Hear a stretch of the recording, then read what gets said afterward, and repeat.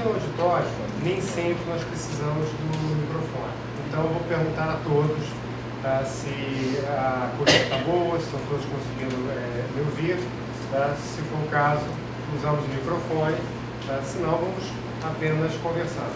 Então, quem está lá no fundo, está ok? Perfeito. Então, ah, dando prosseguimento à nossa Semana Internacional de Quadrinhos, estamos recebendo a presença dos nossos companheiros de São Paulo, que já tem uma longa tradição no estudo e na divulgação dos estudos das histórias em quadrinhos. Então, hoje, estamos aqui com o professor Valdomiro Vergueiro, o professor Nobu Chinem e o professor Paulo Ramos. Vamos tentar fazer uma abordagem de qual é o panorama da, dos estudos das histórias em quadrinhos. Vamos tentar ver, é, tanto o lado artístico como o lado intelectual Tá? E vamos tentar chegar na aplicação disso, na enorme contribuição que os quadrinhos podem dar à educação brasileira. Lembro a vocês que são muito jovens que hoje, para nós, falar de histórias em quadrinhos na universidade ou na escola é algo muito tranquilo, mas nem sempre foi assim. Quando, quando os pioneiros realmente é, começaram a tentar entender todas essas linguagens, a produção, a recepção, tá? havia é, resistências. Houve muitas resistências, por diferentes motivos, é, dependendo da época e do lugar. Então, hoje, poder falar sobre os quadrinhos na educação tá? é, é um grande avanço e é algo particularmente importante no Brasil. Ah, não tinha sido uma grande descoberta, mas em 2007 o governo federal patrocinou uma pesquisa chamada Retratos da Leitura do Brasil. E para surpresa do governo federal, acredito que não para nossa, mas para surpresa do governo federal, ah, descobriram que o gênero quadrinhos era ah, a leitura favorita da maioria dos brasileiros. Tá?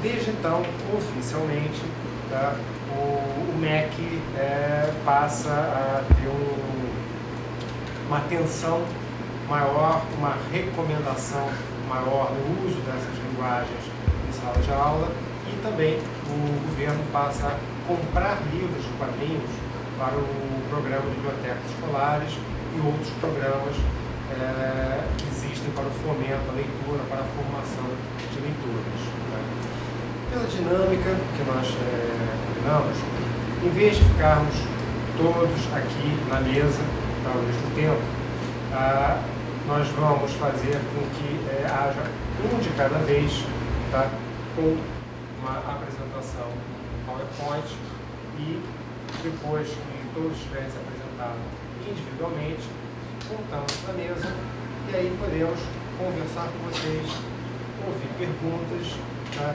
tentar tirar dúvidas. Ok? Tá? Então, assim sendo, eu gostaria de agradecer em nome da Escola de Comunicação da UFRJ ao professor Rodrigo Vigueiro, ao professor Paulo Ramos, ao professor Rodolfo Chinem e gostaria de pedir também uma salva de palmas para eles.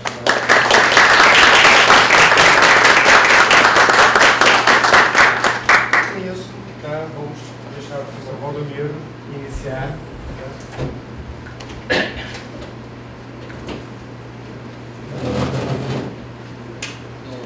Boa tarde a todos. É um prazer estar aqui. Eu quero agradecer o convite. Tão gentil que fizeram para estar aqui com vocês. O professor Mário Cretino tirou uma parte da minha, da minha apresentação, que eu ia começar a falar exatamente sobre os primórdios da, da pesquisa em quadrinhos. Né? Quando eu falo primórdios, é primórdios mesmo. Eu acredito que a maioria não tinha ainda nascido aqui quando eu fiz a minha, meu mestrado, 1985. Quem, é, quem nasceu antes de 85 aqui? ali, não tinha nascido ainda. Vocês verem. É, quando eu comecei a fazer pesquisa, quando eu comecei a estudar quadrinhos, existiam, a gente contava nas mãos, nos dedos de uma mão as pesquisas que existiam de mestrado e doutorado e ainda sobravam alguns dedos. Né? Provavelmente do Caim, mestrado do Caim sobre o quadrinho na, na, área de letras, tinha um, um, doutorado na área de psicologia e acho que tinha acho que tinha um outro mestrado na comunicação, basicamente, e não tinha mais nada. E daí, na época, eu vim, fui para São Paulo, era do interior, e a gente e, o, e a trajetória dos pesquisadores de quadrinhos, normalmente a gente começa como nerd. A gente começa como nerd, a gente gosta de quadrinhos, gente daqueles que, que fica lá discutindo, tem orgasmo múltiplo, discutindo a cor da cueca do super-homem. Né? Passava tudo, todos por isso. Passou também, ficou com vergonha de falar. Né? E, e daí, um dia vamos, vamos estudar quadrinhos. Essa traje, a trajetória, porque o começo, o, o, que, o que traz a pessoa para, alguém para pesquisar quadrinhos, é normalmente o caminho da paixão. Né? O professor Moacir Cirne tem um livro que se chama Quadrinhos, Sedução e Paixão. É outra questão. Quadrinhos, Sedução e Paixão. Ou seja, é o caminho, o caminho dos quadrinhos normalmente é pelo coração e depois vai para a razão. Né? Então, mas como é, nesse, nesse início ah, existia realmente uma resistência, ah, era uma resistência da sociedade em geral, a respeito das histórias em quadrinhos. Vocês já devem ter ouvido falar do senhor chamado Frederick Werther. Já ouviram falar? É um psiquiatra norte-americano que escreveu um livro chamado Sedução dos Inocentes. E nesse livro ele falava várias coisas. Falava que quem lia história de quadrinhos ficava com preguiça mental, quem lia história de quadrinhos tendia a se afastar do mundo, a ficar a, a, a ser uma pessoa estranha, que não tinha relações sociais. Quem lia história de quadrinhos é, tendia a ser, a ser um mau aluno na escola. E, entre outras coisas, ele falava que quem lia histórias do Batman, por exemplo, poderia ter algumas ideias estranhas sobre relacionamento sexual. Né? A partir tá, do que ele via no Batman, no Batman e do Robin, que ele dizia que era o, o paraíso de dois homossexuais vivendo juntos. É. E o pior é que ele tinha razão. Tá se você pegasse é. as histórias do Batman, dava para você, você concluir isso. Né? Porque as histórias apareciam. O Batman saía com, com o Robin à noite, né? Dois, um vestido de preto, o outro vestido de todas as cores meio extravagantes. Tá? Colã. É, um colã, todas umas cores meio, meio amarelo, vermelho, verde, essas cores do, do, do Robin, né? É, e depois o, Batman se machucava. Quem que ia de manhã levar papinha pro Batman? O Robin. Ah, então, tem várias histórias que a gente conseguia identificar isso. Então, a interpretação dele não era errada, tava, as histórias permitiam esse tipo de entendimento. E isso ajudava no descrédito das histórias de quadrinhos pela sociedade em geral. Ah, então, estudar quadrinhos naquela época, há 30 anos atrás, 40 anos atrás, era meio temeridade. Então, a gente chegava lá e tentava abrir caminhos, ainda é, alguns, algumas áreas vocês vão ver que ainda é. Em algumas áreas ainda os quadrinhos não são tão bem aceitos, entende? que algumas áreas eles são aceitos e, a, e a, a, os meus estudos me mostram isso, e outras áreas ainda estão caminhando, né? as histórias de quadrinhos ainda estão caminhando para ser aceitas, e a gente vai ver isso. Né? É, de alguns anos para cá, eu tenho me debruçado um pouco sobre a produção acadêmica de quadrinhos, sobre quadrinhos no Brasil. Então, a gente há alguns anos, 2007, eu com outro professor na escola, está aqui o nome dele, aqui, consegue enxergar, tem frente. O professor Roberto Elísio dos Santos, é, não tem problema. É, o professor Roberto Elísio, nós fizemos o levantamento das pesquisas do Brasil sobre história de É um pouco sobre isso, um pouco desses, dessas, desses dados que eu vou conversar com vocês aqui. Era só transformar em É importante, pode deixar. Não é importante, não. Não é importante. É, o Roberto, ele nem eu sou importante. Pode pegar outro. Ah, então, o que de pensar? crescimento da pesquisa em quadrinhos no Brasil não ocorre só no Brasil. Tem uma tendência mundial. Se vocês pegarem a, a literatura internacional, vocês vão ver isso. Há uma tendência mundial de interesse pelas histórias em quadrinhos. Mundialmente, ah, o que as as histórias em quadrinhos eram utilizadas passaram a ser aceitas. Houve um, um crescimento, um abrandamento na rejeição das histórias em quadrinhos. Isso tem uma, uma explicação física e tem uma explicação cultural. A explicação física é fácil. As pessoas morrem. Ah, então, a, aqueles que eram contra os quadrinhos, felizmente morreram todos. Todos que estão vivos. Uma boa parte deles envelheceu e morreu. Ficaram, na medida que aqueles eram mais, os que eram mais assinados contra os quadrinhos morreram, outras gerações sucederam que não eram tão contrárias aos quadrinhos e a situação melhorou. Explicação física. Existe a explicação cultural. As escolas de quadrinhos passaram a ser é, mais reconhecidas como uma produção cultural. Elas, o, o status da história de quadrinhos foi, é, se ampliou e elas passaram a ser mais aceitas. Tem várias explicações para isso.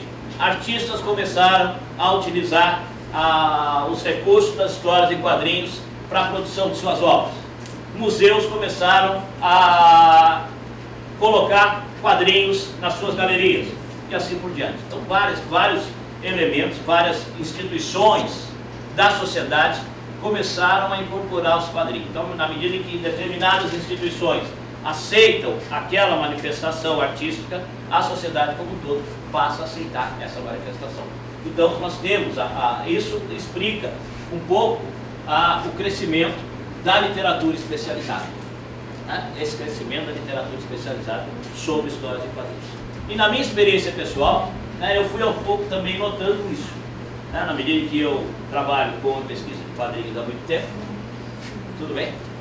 Bom, né, há muito tempo, eu, tenho, eu comecei a notar que a, a demanda por é, trabalhos em histórias, é, pesquisa sobre histórias de quadrinhos crescia muito. Né, na, na, área que eu, eu atuo, na área de comunicação, crescia muito. E a, nem sempre eu conseguia dar conta. E aos poucos outros colegas começaram a abrir também espaço. E isso eu, vi, isso eu verifiquei na participação em bancas. Eu participo em muitas bancas de, de mestrado, doutorado e trabalho de conclusão de curso no Brasil inteiro. E, e, notei que cada vez eu era chamado para participar em bancas de todas as áreas. Na área de letras, na área de ciências, na área de, de tecnologia e assim por diante. E comecei a notar que havia, ocorria uma ampliação do interesse de estudo pela história de quadrinhos. Inicialmente, quando eu comecei, você estudava quadrinhos na comunicação e eventualmente na letras. Hoje se estuda quadrinhos em todas as áreas, praticamente em todas as áreas. Em algumas mais, outras menos. Aí existem algumas concentrações e outras não. Ou seja, há uma possibilidade de estudar quadrinhos para aqueles que têm, que têm interesse. Basta você saber a porta em que você deve bater. Porta você tem que encontrar a porta certa. Mas existem portas. E esta é uma grande, e essa é uma boa notícia. As portas existem. Elas se abrem. Preciso que você.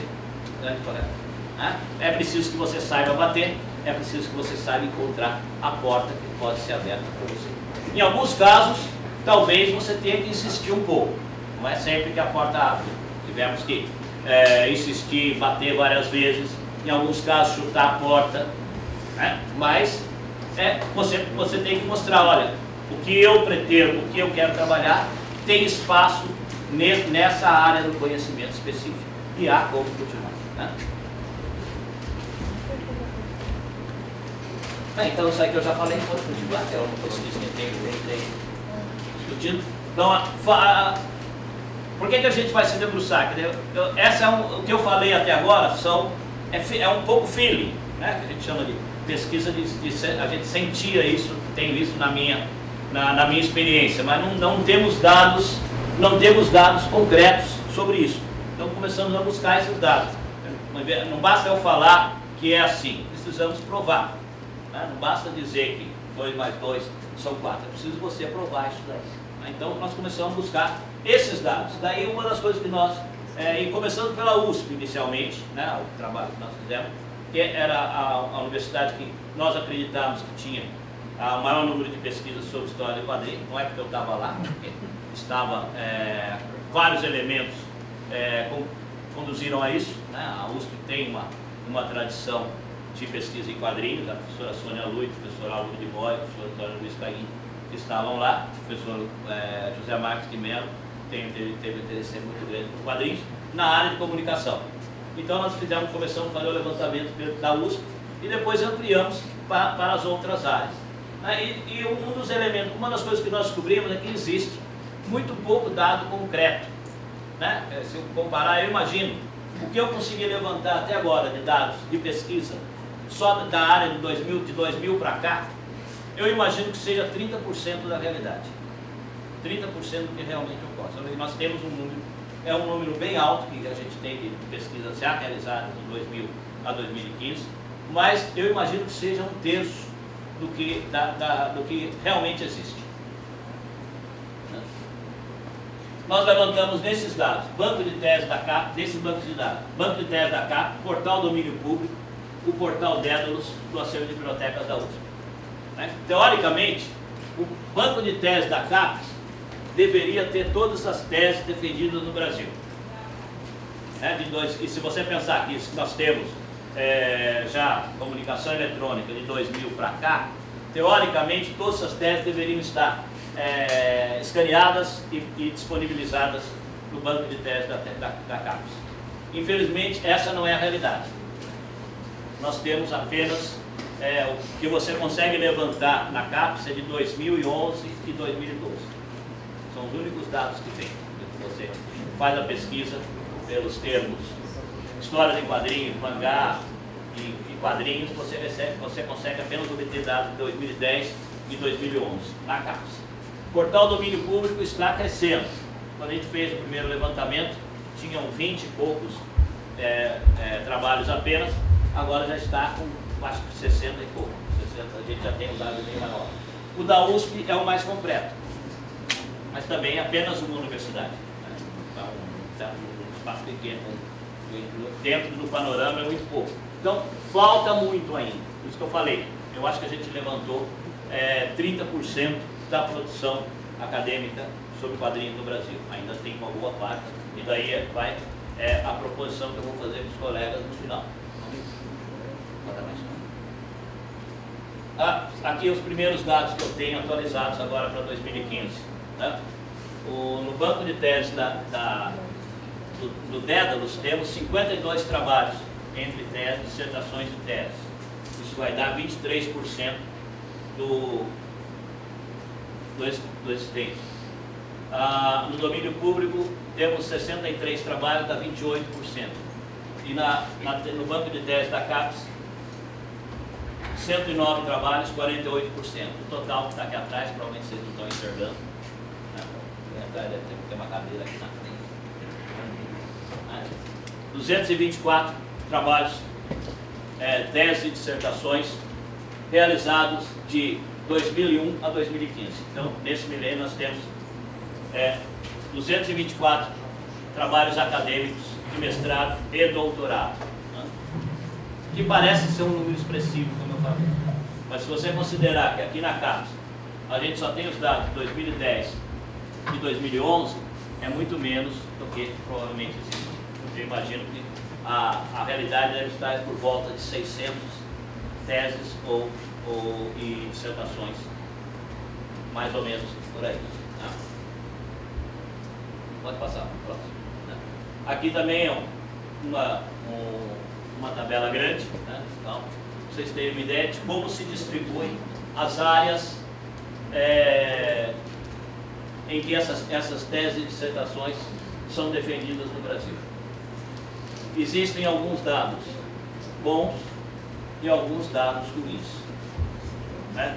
Eu acho que alguns dados bons são ampliou-se o espectro para a pesquisa de quadrinhos no Brasil.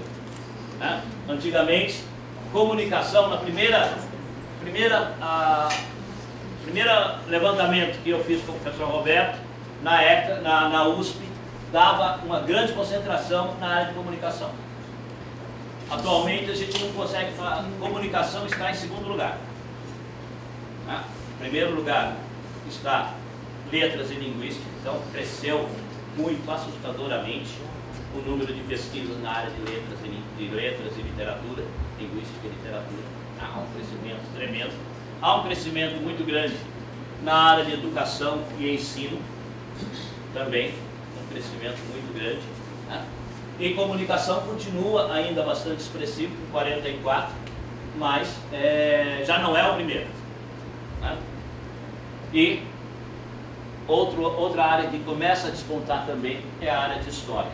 Né? Várias pesquisas na área de história. Então, a, a minha conclusão, é ainda uma conclusão parcial, mas é, há um reconhecimento e, a, e o fato da, da área de letras, e o Paulo está aqui, não me deixa mentir sozinho, né? vai me ajudar nisso, né? a área de letras, o fato da área de letras estar se debruçando sobre história de quadrinhos, é, sinaliza para um reconhecimento da linguagem das histórias de quadrinhos. É uma linguagem é, madura, é uma linguagem forte que pode transmitir é, mensagens e informações que outras mensagens não conseguem transmitir da mesma forma. Então, é um reconhecimento desse potencial das histórias em quadrinhos como uma linguagem artística e de comunicação. Né? Ah, o fato da história estar se interessando pela história em quadrinhos representa um reconhecimento por parte dessa área do conhecimento de que as histórias em quadrinhos podem ser um documento, uma fonte historiográfica elas, têm, elas podem oferecer uma, uma contribuição para aqueles que estudam a, a sociedade, o desenvolvimento da sociedade, para aqueles que se debruçam sobre o desenvolvimento histórico da sociedade. Atender, é, isso, isso vem bem ao encontro do novo entendimento é, dos historiadores a respeito do que é documento histórico. Né? Antigamente se diz documento histórico apenas aquele que foi feito para fins históricos. Hoje em dia se entende que documento histórico é todo aquele que apresenta uma visão daquele momento histórico. Né? Autores como Chartier e vários outros vão defender essa visão do documento histórico. Né? Então, a história em quadrinhos é um documento histórico e o, a, a, os colegas que se debruçam no estudo da história em quadrinhos na área de história dão testemunho disso. Né? A área de educação, né? isso é o colega quando abriu aqui já falou, já, o reconhecimento de que a história de quadrinhos tem um papel a desempenhar no processo educativo. Né? Eu tenho defendido sempre né, que as histórias de quadrinhos absolutamente não vão salvar a educação no Brasil, se é que a educação no Brasil pode ser salva de alguma forma, né? mas também sem, sem a história de quadrinhos não tem, se, se com, com a história de quadrinhos vai ser difícil, sem a história de quadrinhos vai ser impossível. Elas têm uma contribuição muito grande a trazer. Então, essa, essa é a boa notícia que os números nos trazem. Né? É a boa notícia que os números nos trazem. Né? A, a má notícia está lá em cima. Para mim, a má notícia está lá em cima, no primeiro item. Nós temos apenas 11 trabalhos sobre artes é, desenvolvidos no Brasil. Apenas 11 pessoas.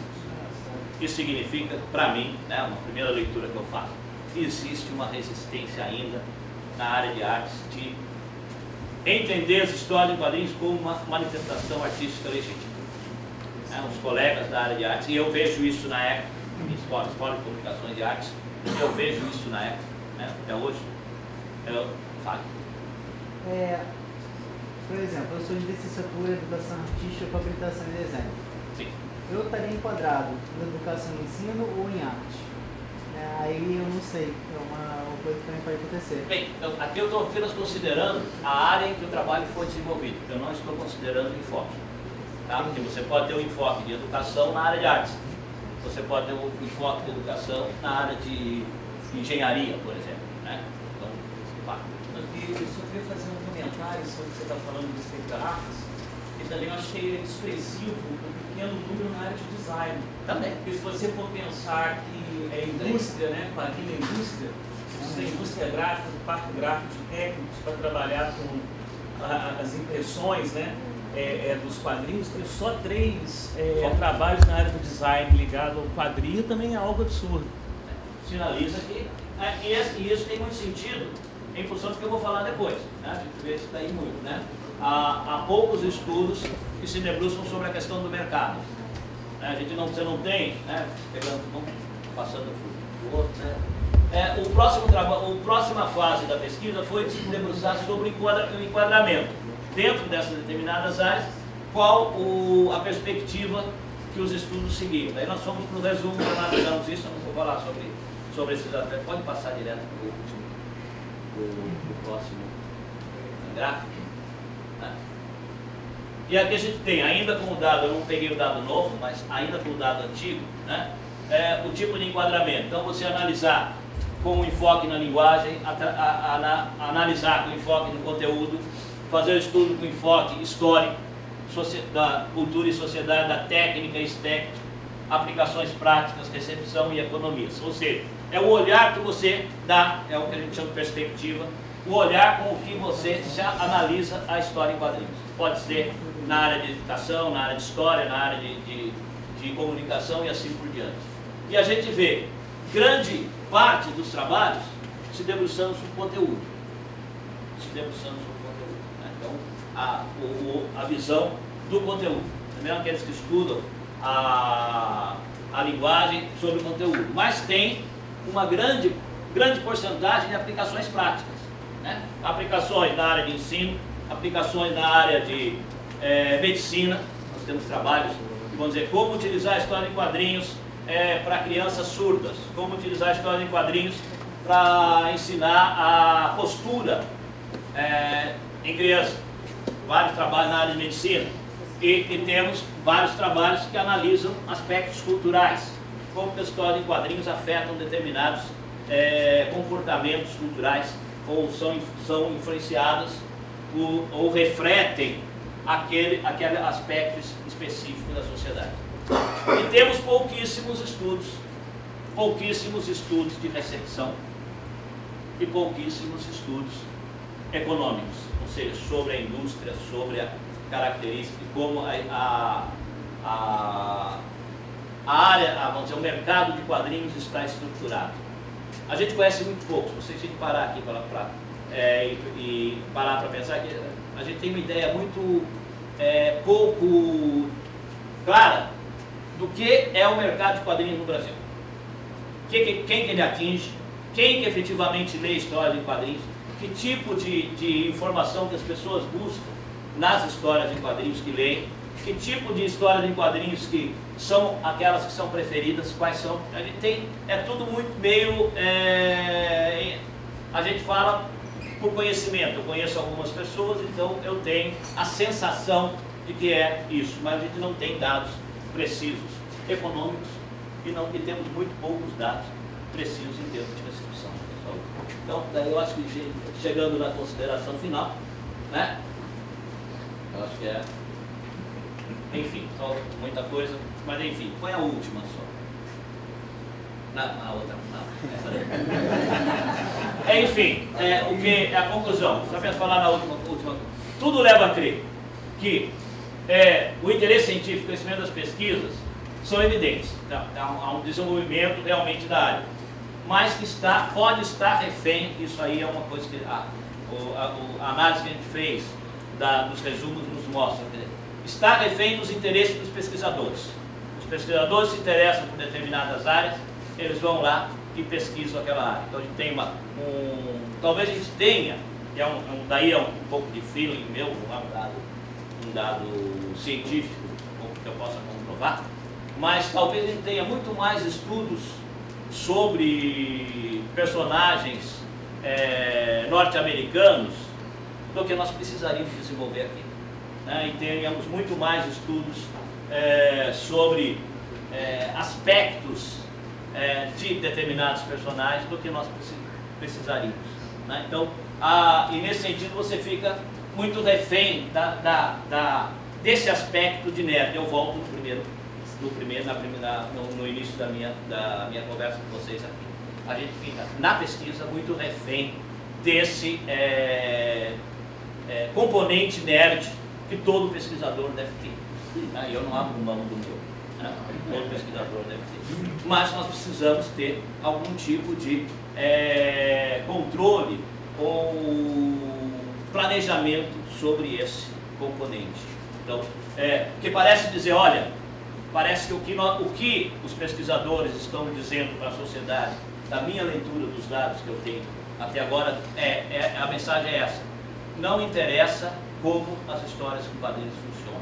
Não interessa o que os leitores é, buscam nas histórias em quadrinhos. Nós, pesquisadores, decidimos que as histórias em quadrinhos são boas e isso nos basta como objeto de pesquisa.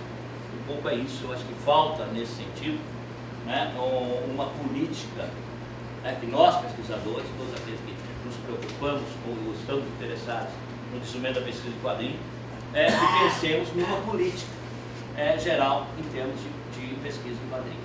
Para onde que nós queremos que a, a, pesquisa de quadrinhos caminhe, o que, que nós queremos realmente e o que é realmente necessário a, a, a esse país em termos de pesquisa acadêmica de quadrinhos, descobrir. Né? E daí a gente pode realmente ir para a última, para última, último slide e seguir em frente para sempre, para o alto e avante. Muito obrigado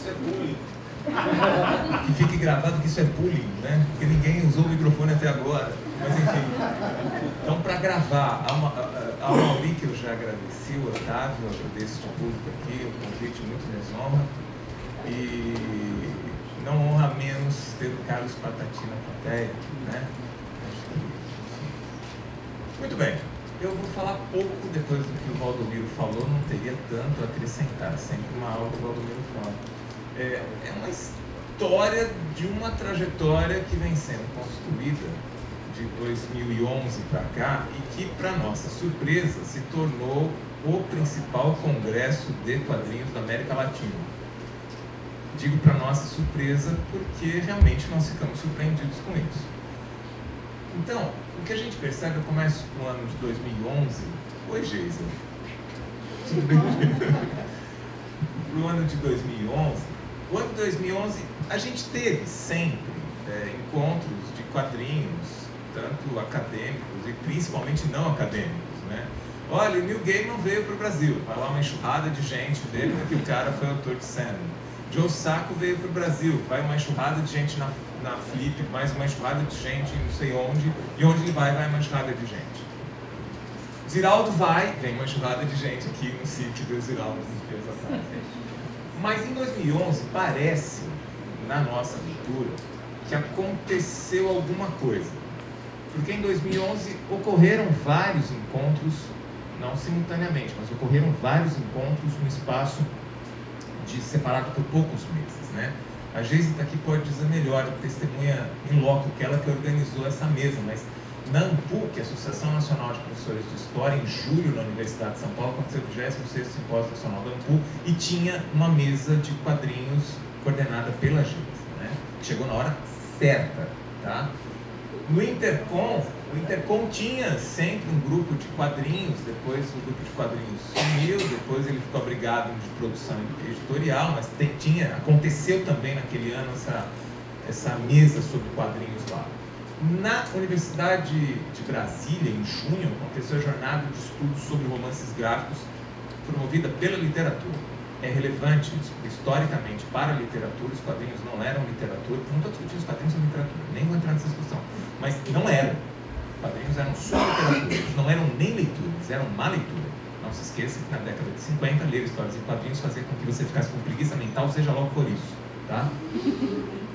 É, na Federal de Pernambuco, você teve Encontro Nacional de Estudos sobre Quadrinhos e Cultura Pop, que foi um encontro bem legal, porque você estava apresentando a sua fala, de repente entrava, é, era misturada com um evento de cosplay. Aí você estava na sala, de repente entrava um Naruto. Né? Não estou brincando, isso aconteceu. Porque a sala, a apresentação ficava na. Era uma sala muito esquisita, que saía. Era meio isso aqui bem simulando o que aconteceu. Era a porta do elevador. E eu lembro que tinha uma pessoa que estava falando, abriu a porta do elevador, saiu um Naruto, parou todo mundo, né? Ah, não é aqui, virou e foi embora. E esse encontro ocorreu duas vezes e ele foi a, o cerne de uma associação, que é a Associação dos Pesquisadores de Arte Sequencial, que se formou a partir disso, faz encontros também a partir de então, é, carinhosamente chamada de ASPAS, Associação dos Pesquisadores de Arte Sequencial. Né? Em 2011 também, aí a gente pode falar, porque somos os organizadores desse evento, somos eu, o Nubu e o Valdomiro, que são as primeiras jornadas internacionais de histórias em quadrinhos, que ocorreram de 23 a 26 de agosto na Escola de Comunicações e Artes, lá na Universidade de São Paulo. Um pequeno bastidor, um pouco o Valdomiro já adiantou. Por que, que surgiram as jornadas? Porque, por dois motivos. Primeiro que em 2010 aconteceu na Argentina um encontro acadêmico bem interessante chamado Vinhetas Sérias, e nós fomos a esse encontro e a gente voltou com a sensação de, puxa, por que, que não tem um negócio desse no Brasil? Poderia haver um encontro assim no Brasil. E o segundo motivo foi essa percepção que o Valdomiro é, pontuou dessa sensação, esse feeling de você ir a bancas em vários lugares do país. O Valdomiro muito mais que nós, mas é, essa sensação de várias pessoas chamarem para bancas. Parecia haver uma movimentação de estudos sobre quadrinhos no Brasil. A pesquisa dele mostra, confirma exatamente isso. E aí surgiu a ideia, por que não fazer um congresso internacional de quadrinhos? Né? Enfim, aí nos organizamos e dentro do Observatório de Histórias em Quadrinhos da de São Paulo, que é, que aloca é essas discussões, a gente organizou o congresso, esse é o logo do congresso, em cor vermelha, o que nos... Eu não lembro por que a cor vermelha, mas a partir de então, obrigatoriamente, ele teve que ser com a cor vermelha. Então, todos os outros logos serão com a cor vermelha. Aí estamos nós, na véspera do encontro, eu fiz esse propósito, eu botei essa foto de propósito, porque você percebe que o Nobu, ele está com uma cara cansada. Eu pareço um Walking Dead, e o Valdomiro de fundo também está cansado, mas está disfarçando que está no fundo. Porque nós, efetivamente, estávamos cansados. Era a véspera do Bom, aí quem está organizando o evento sabe mais ou menos o que eu estou falando. Começa por Até a cara do Otávio. Mas é, foi tirada na véspera, veio, vieram duas pessoas da Bahia conhecer lá a Universidade de São Paulo, que quiseram tirar foto. E é, essa colega aí, e é um registro um pouco disso. Tá? Só de curiosidade, lá no canto direito de fundo tem uma caricatura do Valdomiro, tá? Só para não perder a, a deixa, né? Uh, esse encontro ele teve algumas coisas importantes. Primeiro, pelo encontro em si internacional. Segundo, porque esse encontro reuniu, eu, eu particularmente não sabia, mas foi pela primeira vez, aqueles pesquisadores que iniciaram as pesquisas sobre quadrinhos no Brasil, o Valdomiro se excluiu na fala por modéstia, mas eu estou incluindo o Valdomiro na fala agora, é, que eles se encontraram pela primeira vez numa mesa não que um soubesse do outro, nunca, né? mas na mesma mesa para discutir quadrinhos. A gente entendeu que se a gente vai abrir um congresso sobre quadrinhos, de cara a gente tinha obrigação. O Valdomiro disse que foi maldoso. O Valdomiro falou que foi a primeira e única porque metade morreu. Por isso que eu comentei que foi maldoso, mas, mas é fato. Né? É... Nossa, até esqueci. achou que não fazia sentido a gente abrir um congresso que se né, mostrava desse pote se não reconhecesse o trabalho dessas pessoas. Porque se hoje se diz que é difícil às vezes estudar quadrinhos, imagina na década de 1970, em plena ditadura militar, né, em que você tinha uma censura muito forte e você tinha um preconceito muito forte acadêmico sobre o assunto. José Marques de Mello foi o primeiro a fazer uma pesquisa sobre quadrinhos no país, que não estava nessa mesa por motivos de meio, na verdade, né? o meio ficou perdido, mas enfim, foi convidado. Marcos Mello comentava que ele ouvia né, no começo da década de 1970 na Universidade de São Paulo que por mexer com quadrinhos ele estudava o lixo cultural. E que essa pesquisa de quadrinhos dele, ele teria dito depois, foi motivo da demissão dele da Faculdade de Jornalismo Casper Libero isso em 1969, provavelmente. Esse em 67, alguns anos depois saiu. Então, essa mesa reuniu ah, essas pessoas que falaram vamos estudar quadrinhos no Brasil. Nota que não são não são muitas. Tá? Tem alguns outros. Por exemplo, Zildo Augusto Anselmo, algumas pessoas que citar, mas esses nos parecem realmente mais relevantes. Então, começando da esquerda para a direita, a de baixo, Sônia Bibi Luiten, que tem um trabalho referencial sobre mangá numa época em que não se publicava mangá no Brasil quase, e numa época em que não se sabia o que era mangá. O que é mangá? O mangá é o quadrinho japonês, vai que alguém não sabe. Mas ela fez um livro referencial sobre isso em 91, 92. Que é, assim, estava na vanguarda da discussão. Acima, lá, ainda na esquerda, o professor Antônio Luiz Camin, que tem um estudo de 1900. É um mestrado feito na Letras da USP, que virou um livro em 75 chamado Os Quadrinhos, que é referência até hoje esse livro. Então, é uma nova edição há uns dois anos. Dois anos, né? Dois anos. No centro, o professor Nossa Cecília, que o Valdomiro Vergueiro citou agora há pouco, que é aquele autor do quadrinho Sedução e Paixão, e que tem vários livros publicados na década de 1970. Ao lado do Nossa Cecília, ao professor Valdomiro Vergueiro, que dispensa apresentações, e que tem capitaneado hoje o Observatório de Histórias e Quadrinhos na USP. E do lado direito dele, o professor Álvaro de Moya, já aposentado, que é autor de um livro chamado Shazam, que é também é sistematicamente editado desde então e é muito importante. Né? Uh, foi uma mesa histórica nesse sentido, porque eles se reuniram pela primeira vez. Daí eu ia dizer depois, virou meio que piada, mas o Canin faleceu e o, o Cine falecer, foi tudo muito próximo. E aí tem uma história disso, depois acho que o Dudu vai contar dos livros, você conta dos primeiros, né? Tem uma história de bastidor disso tudo, que se não fosse ele, parte dessa memória não teria sido registrada. Ele não todo crédito aí. Ah, nessa primeira edição das jornadas, a gente teve 181 resumos, quer dizer, a gente não é que recebemos 181 resumos, nós tivemos 181 resumos aprovados passa por um conselho editorial, então houve mais. Alguns foram reprovados, 181 foram colocados no caderno de resumos. E nós tivemos 1, 2, 3, 4, 5, 6, 7, 8, 9, nove lançamentos de livros sobre quadrinhos. O primeiro, lá de cima, da esquerda, é um livro argentino, a autora veio para cá, foi uma das convidadas, lançou, que é a Laura Vazes. Detalhes importantes. Em 2011, a gente se surpreendeu duplamente. Primeiro, porque a gente surpreendeu de um evento ter nove livros teóricos sobre quadrinhos. Tem o Carlos Patati aqui que lançou o Monarca dos Quadrinhos, mas no mesmo ano que você lançou o Monarca dos Quadrinhos, que acho que foi 2006, quantos livros teóricos surgiram naquele ano? Pouquíssimos. Então veja, é, eu estou discutindo coisa de 5, 6 anos para cá. Nos surpreendeu. O que nos surpreendeu? Dois. Salva de garfo. Não tem como Edgar Franco entrar e passar despercebido. Ah, eu sou mais tímido. É o nosso maluco, né?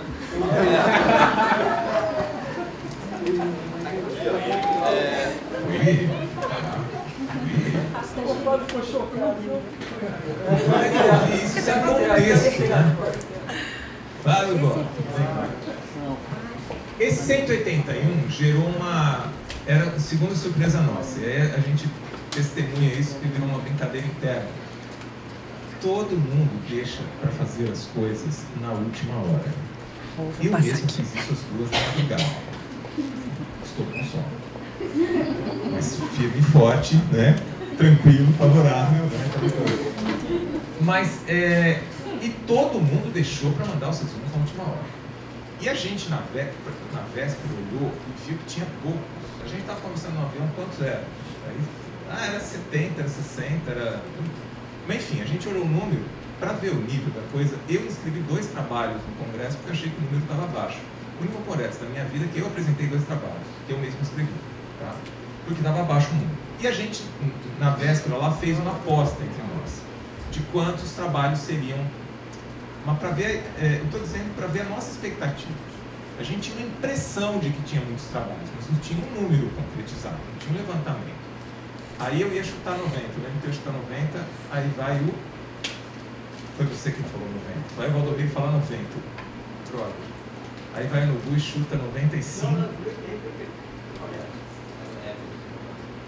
Alguém falou 90 que era o número que eu queria, então foi você. E eu vi que, eu falei, pô, perdi, né? E a aposta era uma pizza. Aí eu chutei o balde e botei, então é 110. Mas eu, eu botei 110 achando que realmente eu ia perder. Quando deu, era até meia-noite, 11h30, 11h31, começou a chover e-mail com inscrição porque todo mundo deixa para última hora. E aí passou de 181. 181 é o número final das avaliações já feitas, né? Para nossa surpresa, já de cara a gente, bom, não é um evento pequeno. Já a primeira conclusão que a gente tirou é alguma coisa, aquela impressão que a gente tinha, ela se confirmou, mas não só se confirmou, superou. E aí os números que a gente vai mostrar das outras edições, é, eles vão confirmar que esse negócio está indo numa crescente. A gente pôs uma criança no mundo que está crescendo e ficando grande. Dá medo, tá? Porque a gente fez a, a, inicialmente a coisa de uma maneira bem mais modesta, tá? Em 2013, o evento era bienal. Então a ideia é que um ano, aquela vinheta sérias que aconteceu em 2010, ela aconteceu em 2012, na Argentina. Então a ideia é que a cada ano nós tivéssemos, ou no Brasil ou na Argentina, um evento internacional. Era esse o acordo que a gente tinha feito com os colegas da Argentina. Por isso que ela foi realizada em 2013, a segunda edição. O logo, com cores em cor vermelha, por motivos já explicados, né? aconteceu de 20 a 23 de agosto na ECAUS. Você viu que, mais ou menos, quando vai acontecer a quarta edição das jornadas? A gente também não sabe. A gente sabe que é em agosto, provavelmente na terceira semana. Porque é, cunhou-se um pouco essa data aí. Né? Ah, Aí a gente começou a ficar mais pimpão na organização. Né? Então a gente convidou desenhistas que, que são amigos e que fazem na faixa os desenhos para nós, né? E o Will, que é um cara que merece todo o reconhecimento do público, também fez o logo da jornada. E ele acabou ficando uma espécie de desenhista oficial dos logos, porque a gente encontrou com ele outro dia, olha, eu já sei o logo da quarta edição das jornadas. Que ele não foi convidado.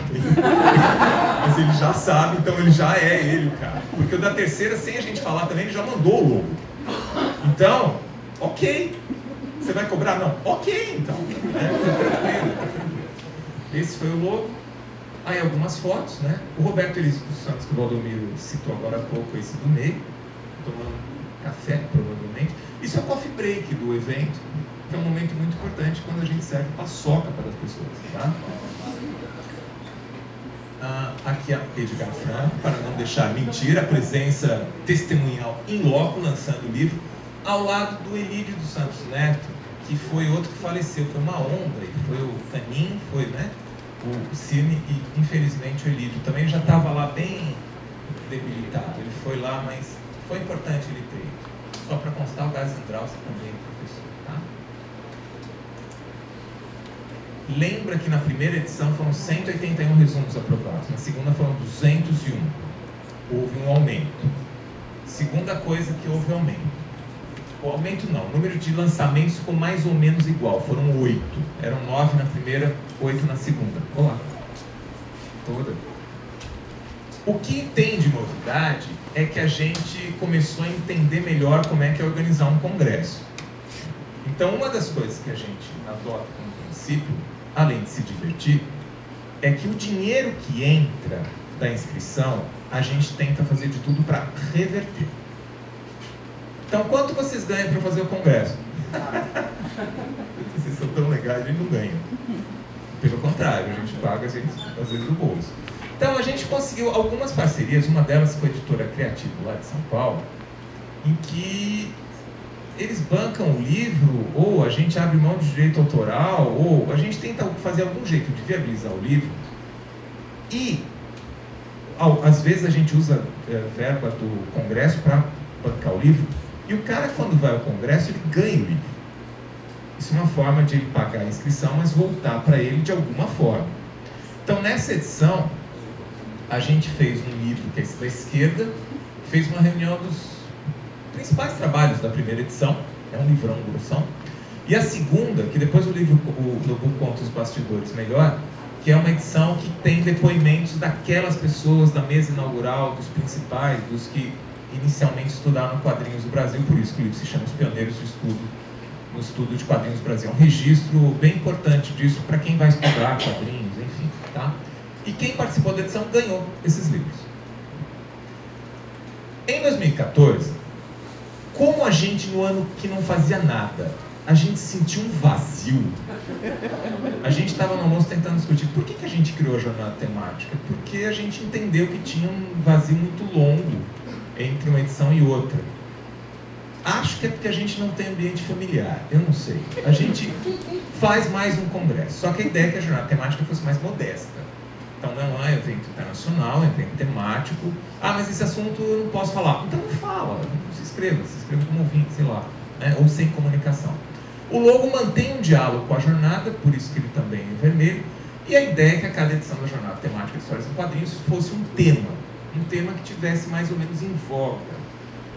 Era muito relevante o papel das adaptações literárias por conta do que o Mário comentou no começo. Quer dizer, o governo começa a comprar quadrinhos para montar a biblioteca escolar e um dos quadrinhos mais privilegiados dessa leva de compra são as adaptações literárias. Tem uma série de discussões epistemológicas disso que podemos fazer depois sobre a tempo. Mas era essa discussão que propunha o Congresso. Ele aconteceu não na USP, mas na Universidade Federal de São Paulo, dia 5 e 6 de agosto. A gente aprendeu os logos, né, aquele esquema, esse aqui foi feito pelo Lauto Ferreira Júnior. Aí uma das mesas, que é com a Renata Farra Borges, que é editora da Peirópolis. O da direita lá é o André Conte, que é o editor da Companhia das Letras. A professora do meio é Francine Weiss Missieri, que é lá mesmo no Departamento de Letras da Federal. Aqui o Coffee Break, nota que realmente é o evento, é um momento importante quando as pessoas vão comer paçoca. E a gente manteve a tradição de um livro. A gente organizou um livro que é quadrinhos de literatura e diálogos possíveis. Quem participou do congresso ganhou o livro, né? E aí aquelas coisas de congresso, como baratear congresso, use o mesmo logo com outra cor, né? A gente teve 60 resumos aprovados e apresentados, tá?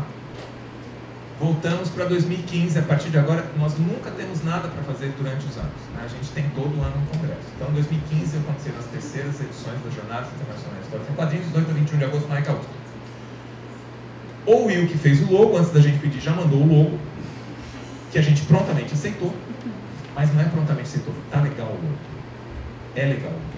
Ele faz muito bem isso. Aí o logo já com o negócio, que é, é o único outdoor que tem na cidade de São Paulo, que fica dentro da Universidade de São Paulo, porque em São Paulo proibiram os outdoors. Né? Ainda na gestão do, do Caçado. E aí era o único logo que tinha. Aqui na, na abertura o Paul Brevet, que tem um livro muito importante, um autor muito importante. Aliás, o Carlos Patati estava lá com ele, né? São Paulo, na abertura. Ah, aqui lá de fundo é o Ian Gordon, que é outro convidado internacional, mas para ter uma dimensão da plateia, né? Aqui, aqui é nós, né? Eu gosto de uma frase do Valdomiro dessa foto. Eu não sei o que, que a gente estava falando, mas a piada era boa. Né? Aí o que é importante? A terceira edição das jornadas tiveram 231 resumos aprovados. Lembra que na primeira eram 181, na segunda 201, 231. Crescendo. E aí, para nossa surpresa, plus 20. Veja, oficialmente na programação foram 22 livros. Mas por fora tinha gente que foi lá e lançou livro. Então, esse 25 tem margem de erro de 1 ou 2 para baixo ou para menos. Eu botei 25 por via das dúvidas. Mas mesmo que fossem 22, foi mais. Nunca antes na história deste país você teve 22 livros teóricos sobre quadrinhos lançados no mesmo evento. Nunca. Se você for fazer discussão fora do meio acadêmico, nunca também você teve tanto quadrinho independente lançado no ano 2015 como foi no Festival Internacional de Quadrinhos de Belo Horizonte, que chegou a 235 lançamentos independentes feitos só para aquele evento. Então nota que é um comportamento que não é só no acadêmico, tem diferentes frentes. Não é por acaso que você tem bancas aqui com quadrinho independente na feira. Né? Tem um momento disso. E o Congresso, além dos números que o Valdomiro apontou, o próprio Congresso testemunha esse crescimento em diferentes áreas, né? porque o Congresso é interdisciplinar. Nessa edição, a gente fez um esforço, a gente queria fazer uma homenagem para os autores, pesquisadores que tinham falecido, Canin, o Elídio e o Moacir Uma ideia inicial era fazer uma mesa, mas aí a gente abortou essa ideia e acho que essa ideia realmente foi melhor. Nada melhor do que homenagear os autores, os pesquisadores que iniciaram esses trabalhos, o Elídio acompanhando esses trabalhos, do que dar voz às ideias deles. Então foi feito um livro que o Valdomiro e o Roberto Elias. Era desse espírita que ele quer fazer. boa, boa, boa observação. Era a mesa com pessoas que iam dar depoimentos, né? Sobre Valdomiro, você está impossível. Mas enfim, é, era um livro em homenagem ao Canin, que é esse da direita. Aqui é um livro que é uma biografia do Moacicine, e lá o livro Histórias em Quadrinhos e Práticas Educativas, que foi é um segundo volume que tinha sido organizado por Elídio. Vocês viram o Elídio que a gente comentou autografando uma foto antes, né? Era o primeiro volume. Ele faleceu e tinha um segundo volume que já tinha sido, me parece, entregue para a editora, ou pelo menos tinha um acordo com a editora de lançar o segundo volume. E acho que foi uma boa homenagem. E quem participou do congresso ganhou o livro. Só que aí a brincadeira do congresso era, bom, então na segunda edição nós ganhamos dois livros. Ah. Na terceira edição nós ganhamos três livros. Agora vocês estão ferrando a gente de que na quarta edição sejam quatro livros. Tomara, vamos ver. Deus é Pai. Vamos... Oi? É verdade, na segunda foram três. Porque tem, a editora Peirópolis doou um catálogo de adaptações. É verdade, na segunda foram três. Então, a média, então é três. Não tem quatro, não. Muito bem. Bem, salvo mas mesmo assim, três é duro, hein, meu amigo? Três é difícil. Só para a gente ter um comparativo, eu já estou encerrando a fala. Nas jornadas internacionais histórias em quadrinhos, só para a gente relembrar: 2011, 181 resumos, 2013, 201 e 2015, 231. Sinaliza e reflete realmente um aumento no número de pesquisas e no interesse em expor essas pesquisas no âmbito científico. Só para a gente apontar a seta para frente, a gente tem agora, de dias 12 e 13 de julho, na Universidade Federal de São Paulo, segunda edição, porque a gente não tem ambiente familiar, aquela brincadeira lá, da Jornada Temática de Histórias em Quadrinhos, e o tema dessa edição é Reflexos do Real. Quer dizer, como é que, de forma autobiográfica ou histórica, a própria charge, como é que os quadrinhos são. Como é que a realidade é mostrada nos quadrinhos? Essa era a proposta do Congresso. Na primeira edição a gente teve 60 resumos aprovados. Nessa edição já dá para dizer. Deixa eu só ir para o trabalho. 98 trabalhos aprovados. Não sei se os 98 trabalhos serão, irão compor o caderno de resumo. Porque tem até segunda-feira para pagar. E quem não paga, fica fora. Né? E quem ganha a carta, parece o Santos. Mas mesmo assim, a gente já tem quase 70 pessoas que pagaram. Todo mundo deixa para a última hora. Então, provavelmente muito obrigado, Fábio Bola. Deus lhe pague. Haverá o congresso, haverá o congresso, né? Mas nota que vamos trabalhar com a ideia otimista de 98 trabalhos, 60 na primeira edição. 98 é quase o dobro, né? E eu pulei aí, mas eu volto. Opa, opa, opa. O logo dessa edição, é, a gente tem convidado na temática cada vez um desenhista. Esse aí foi o Sanhart. Ficou muito legal também o desenho do, essa né, ideia do reflexo. E aí, já meio convidando embora nós não tenhamos conversado, acho que, né? Agora é. 2017, desculpa, né?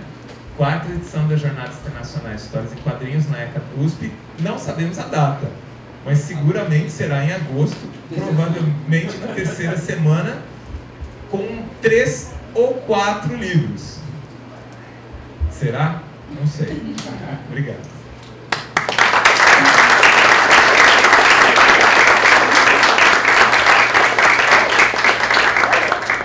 A paçoca, com certeza. Fala que tá todo mundo convidado, né? Fala que tá todo mundo convidado, quem A quiser. casa é de vocês. A casa é de vocês.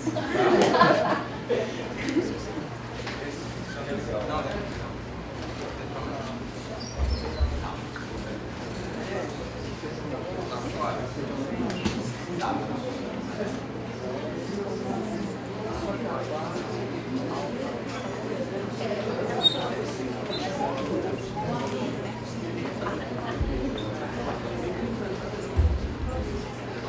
Bom, boa tarde a todos. Obrigado por terem vindo todos aqui. Obrigado pelo convite né, de participar do evento do mês. Otávio, Mauri, professor Mário. Bom, eu vou falar de uma, um assunto que é consequência de tudo que foi falado até agora. Porque quando eu, eu faço parte do observatório, que antigamente chamava Núcleo de Pesquisa História em Quadrinhos, da ECA USP, e é aquele negócio que o professor Rolando falou, aquele encontro de nerds. Né? Todo falando de quadrinhos, só de super-herói, mangá.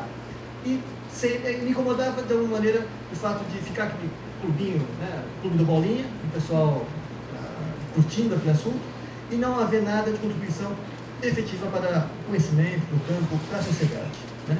Então, a- as próprias jornadas, né, como o Congresso, já é uma contribuição, porque expande essa discussão, ela abre para uma comunidade maior, para um público maior, mas eu sempre achava, puxa vida, livro. Né? Livro é uma que eu adoro livros, né? acho que como todos nós aqui, e eu tenho uma peculiaridade.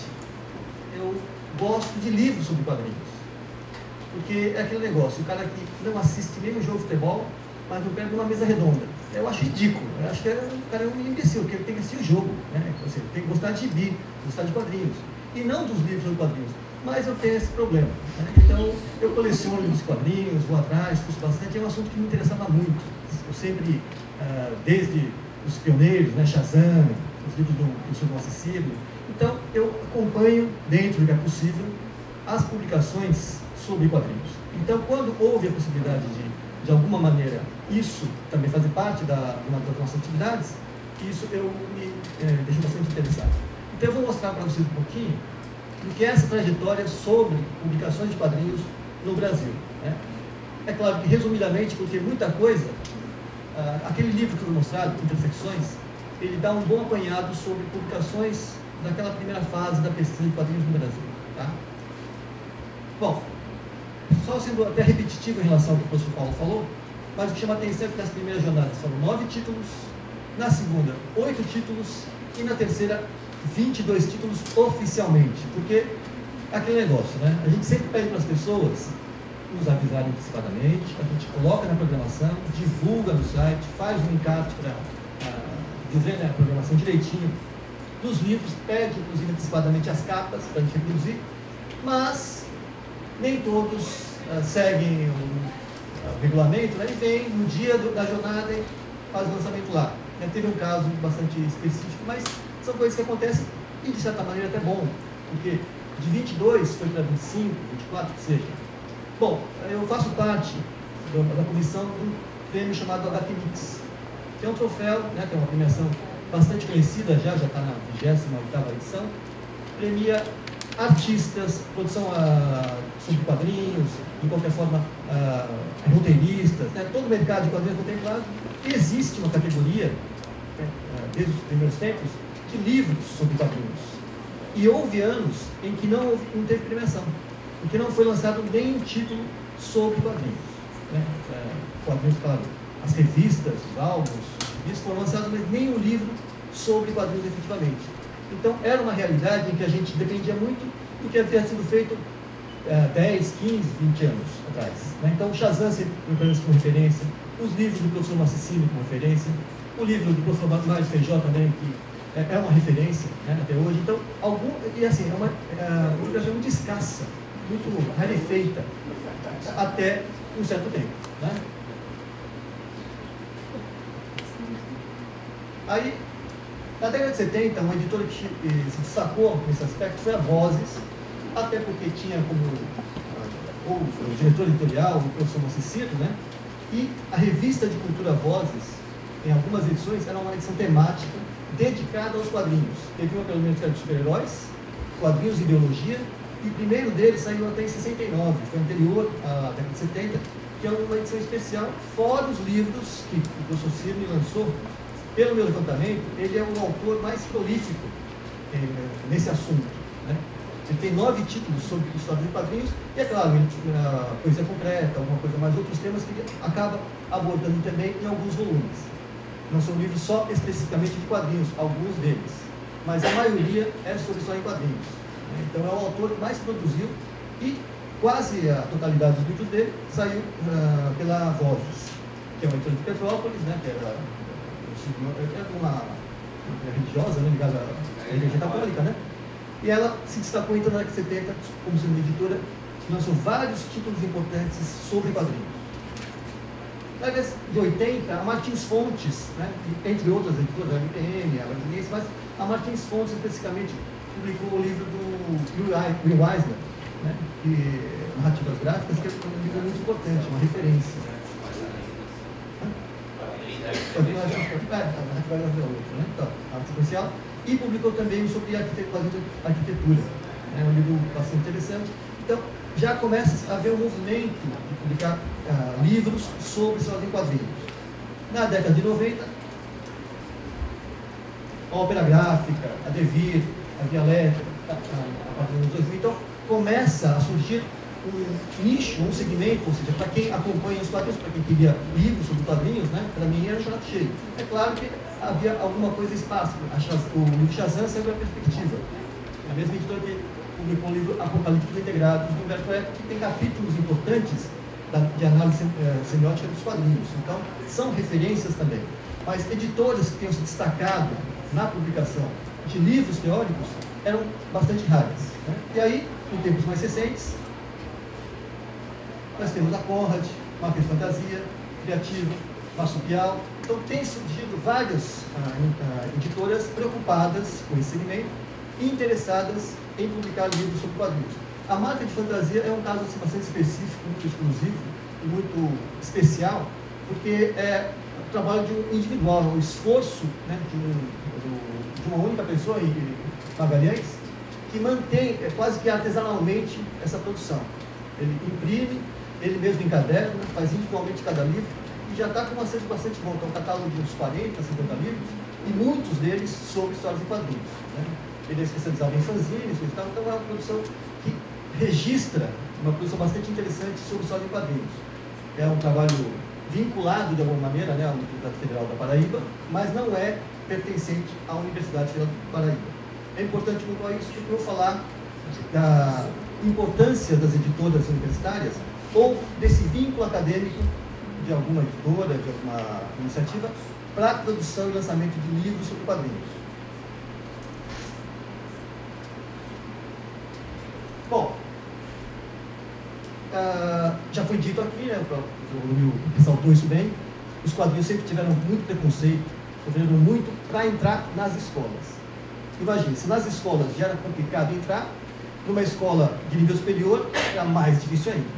Né? Elas eram praticamente uh, banidas, elas, ninguém levava a sério. Uh, relatos de pessoas que queriam estudar história em quadrinhos, isso eu já ouvi, mas não tinha que orientasse. Né? Tinha um interesse em pesquisar, mas nem o professor se interessava porque justamente era considerada subliteratura, lixo cultural. Né? Então, uh, para vocês imaginarem a dificuldade que era alguém falar sobre o assunto, pesquisar sobre o assunto, imagine publicar sobre a, a chancela dessa universidade, desse, dessa instituição, um livro sobre quadrinhos. Então é extremamente raro, extremamente difícil. Mas, né, como aquele cara que não perde uma mesa redonda, vai assistindo até debates sobre jogos da quarta divisão, eu fui atrás de alguns livros e encontrei coisas bastante interessantes. Bom, antes de falar sobre o exterior, eu li até a ordem, né? Para dizer para vocês que lá no exterior, né? Essa aqui, University Press, da Bélgica, é uma publicação de uma editora universitária, né? Algumas são bastante é, profícuas nisso, né? tem uma produção bastante boa, mas vou dar alguns exemplos espaços que eu encontrei de universidades no exterior, essa aqui no caso da Bélgica, que publicou um livro sobre quadrinhos. Essa aqui é, é da Universidade de Castilha, na Espanha, então também né, sob a égide de uma universidade, uma publicação sobre quadrinhos ah, de uma universidade espanhola. Isso aqui é da Universidade Nacional de Córdoba, estávamos até conversando sobre é, um grupo de pesquisadores que existe em Córdoba, que é bastante, é, bastante atuante, né, que é o Roberto Gonçalves e o Frederico Reggiani. Então, eles têm, esse aqui é um dos livros que eles editam sob né, a chancela da Universidade Nacional de Córdoba, ou seja, abre-se espaços. Né? Algumas universidades começam a se interessar por esse assunto, por esse tema, dar uma certa abertura para isso, coisa que antes não existia. Né? Aqui, agora eu vou começar a entrar em algumas universidades americanas. Muitas delas têm alguma, pelo menos uma ou outra publicação de quadrinhos. Então, essa aqui é a de Michigan, né? é um livro bem interessante, ele faz um apanhado bastante vasto né, das tiras e quadrinhos jornais americanos, e vem um CD pela impossibilidade de publicar a- as imagens todas num único volume. Então, é um livro de referência, uma espécie de catálogo, uma, vai listando o autor, a data, tudo direitinho, e quem quiser ver as imagens, acessa o CD que vem eh, anexado, esse, vem cartado nesse livro. Aqui é da Universidade do Texas, né? então é um livro que trata de quadrinhos ah, latino-americanos, não é de quadrinhos latino-americanos, mas da realidade latina refletida nos quadrinhos. Isso aqui também é um sobre super-heróis e é da Oxford, ou seja, algumas universidades mais prestigiadas, algumas das mais prestigiadas do mundo, abrem espaço para os quadrinhos. Ou seja, os quadrinhos começam a ganhar uma relevância e uma importância que nem mesmo aquelas universidades mais consagradas, as mais conceituadas, ah, fecham os olhos para elas. Ou seja, começa a entrar em espaços que eram, ah, até um, tempo atrás, quase inacessíveis. né? Então tem o da Oxford, esse exemplo, e tem esse aqui, tem a da Yale, também é outra universidade bastante conceituada, bastante prestigiada, que é um congresso, justamente, que esteve aqui nas jornadas. Uma coisa que a gente precisa também ah, até ressaltar, que nas jornadas, o pessoal, além de ganhar os livros, né, tem a possibilidade de ter contato com alguns dos pensadores assim, bastante conceituados sobre quadrinhos internacionais. né. Então, ah, ano passado, ah, a gente trouxe aqui para a pesquisa, para o debate, ah, além do que, Ian Gordon que apareceu, e Paul Gravitz, a Trina Robbins, que é muito atuante né, nesse meio de quadrinhos, desde a época do Underground, ela foi contemporânea do Crumb, né, e fazia quadrinhos já naquela época, e de movimento, assim, muito atuante no movimento feminista. Então, ela, inclusive, como condição para vir para cá, ela falou, "Olha, eu vou, mas eu quero me reunir com, as, com quem produz quadrinhos, com as mulheres que fazem quadrinhos no Brasil. Então, paralelamente às jornadas, porque nas jornadas não havia um espaço na programação para isso, a gente combinou com ela, tudo bem, mas vai haver um encontro fora do âmbito da jornada. E foi tranquilo, foi na boa, foi lá no Centro Cultural de São Paulo, reuniu pessoas que vieram até de outros estados só para conhecer, só para ter contato com a Trina Robbins, porque é realmente um nome de referência, com uma mulher que produz quadrinhos e com a temática feminista também. Né? Bom, aqui é o caso de uma ah, editora, que é a Mississippi, que ela é um, um ponto fora da curva, porque do catálogo, que não é só de quadrinhos, obviamente, né, fala de vários temas, mas ela tem cerca de 30 a 40 títulos só sobre quadrinhos. E aqui, no caso, eu trouxe esse exemplo aqui, porque esse livro foi um dos primeiros livros sobre quadrinhos publicados no mundo, né? que é de 1947, do Colton Walker, que é The Comics. É um clássico, é óbvio que ele tem o viés. Né? É um dos, eu acho que é um dos primeiros, né? A do, ah, do Creators, né? É. Então, esse aqui sendo o segundo livro sobre quadrinhos do mundo, claro, faz uma defesa do quadrinho americano, né? Só enxerga o mercado americano, e obviamente do quadrinho americano de jornal. Porque é o que dava prestígio, é o que era respeitado. Ou seja, os quadrinhos têm aquele negócio, já, são preconceito, já sofrem preconceito. Dentro do preconceito, tem o que é mais ah, isolado ainda, né, que é, tem mais preconceito ainda, que é o gibi, que é o quadrinho para revista. Tem toda uma história do porquê disso, né? Se publicar em jornal, dava mais prestígio. Até uma sociedade dos ilustradores de quadrinhos, que tem um jantar de galas, tudo bonitão, tem um catálogo maravilhoso. Só que quem fazia gibi era a molecada que queria ter sua tira de, jornal. né? Então, até nisso havia uma discriminação. De qualquer forma, esse livro aqui era um dos primeiros e a editora da Mississippi fez uma reedição desse volume. Não é a primeira reedição. Nos anos 70, a Luna Press fez a segunda edição do livro, que é o de 47, e essa edição é mais recente. Ah, a Mississippi também editou esse livro aqui, tem uma coleção muito boa de A Conversations, com vários autores, de, não só de quadrinhos, de cultura eh, de massa de modo geral, mas tem muitos volumes de quadrinhos. Tem Karl Barks, tem Stan Lee, tem, se não me engano, o Alan Moore, não tenho certeza, Art Spiegelman tem. Então, o que acontece? Eles coletam entrevistas que já saíram em outras publicações, Comics Journal, ou para algum um veículo mais alternativo, e compilam essas entrevistas e lançam no volume, com alguns comentários. Então, é bastante interessante porque é o depoimento do próprio artista que se manifesta. Por isso que essa coleção ela é particularmente muito interessante. Tem um livro do Thierry Bronstein, que é uh, System of Comics, que foi traduzido para ah, o inglês pela Mississippi, ou seja, o catálogo dela é bastante diversificado. né? Ela não foca só ou no quadrinho americano, ou só quadrinho- na história dos quadrinhos. Né? No caso do, do- livro do Bronstein, é estudar a linguagem. Né? É uma nova proposta de eh, entender ah, os quadrinhos como um sistema. né?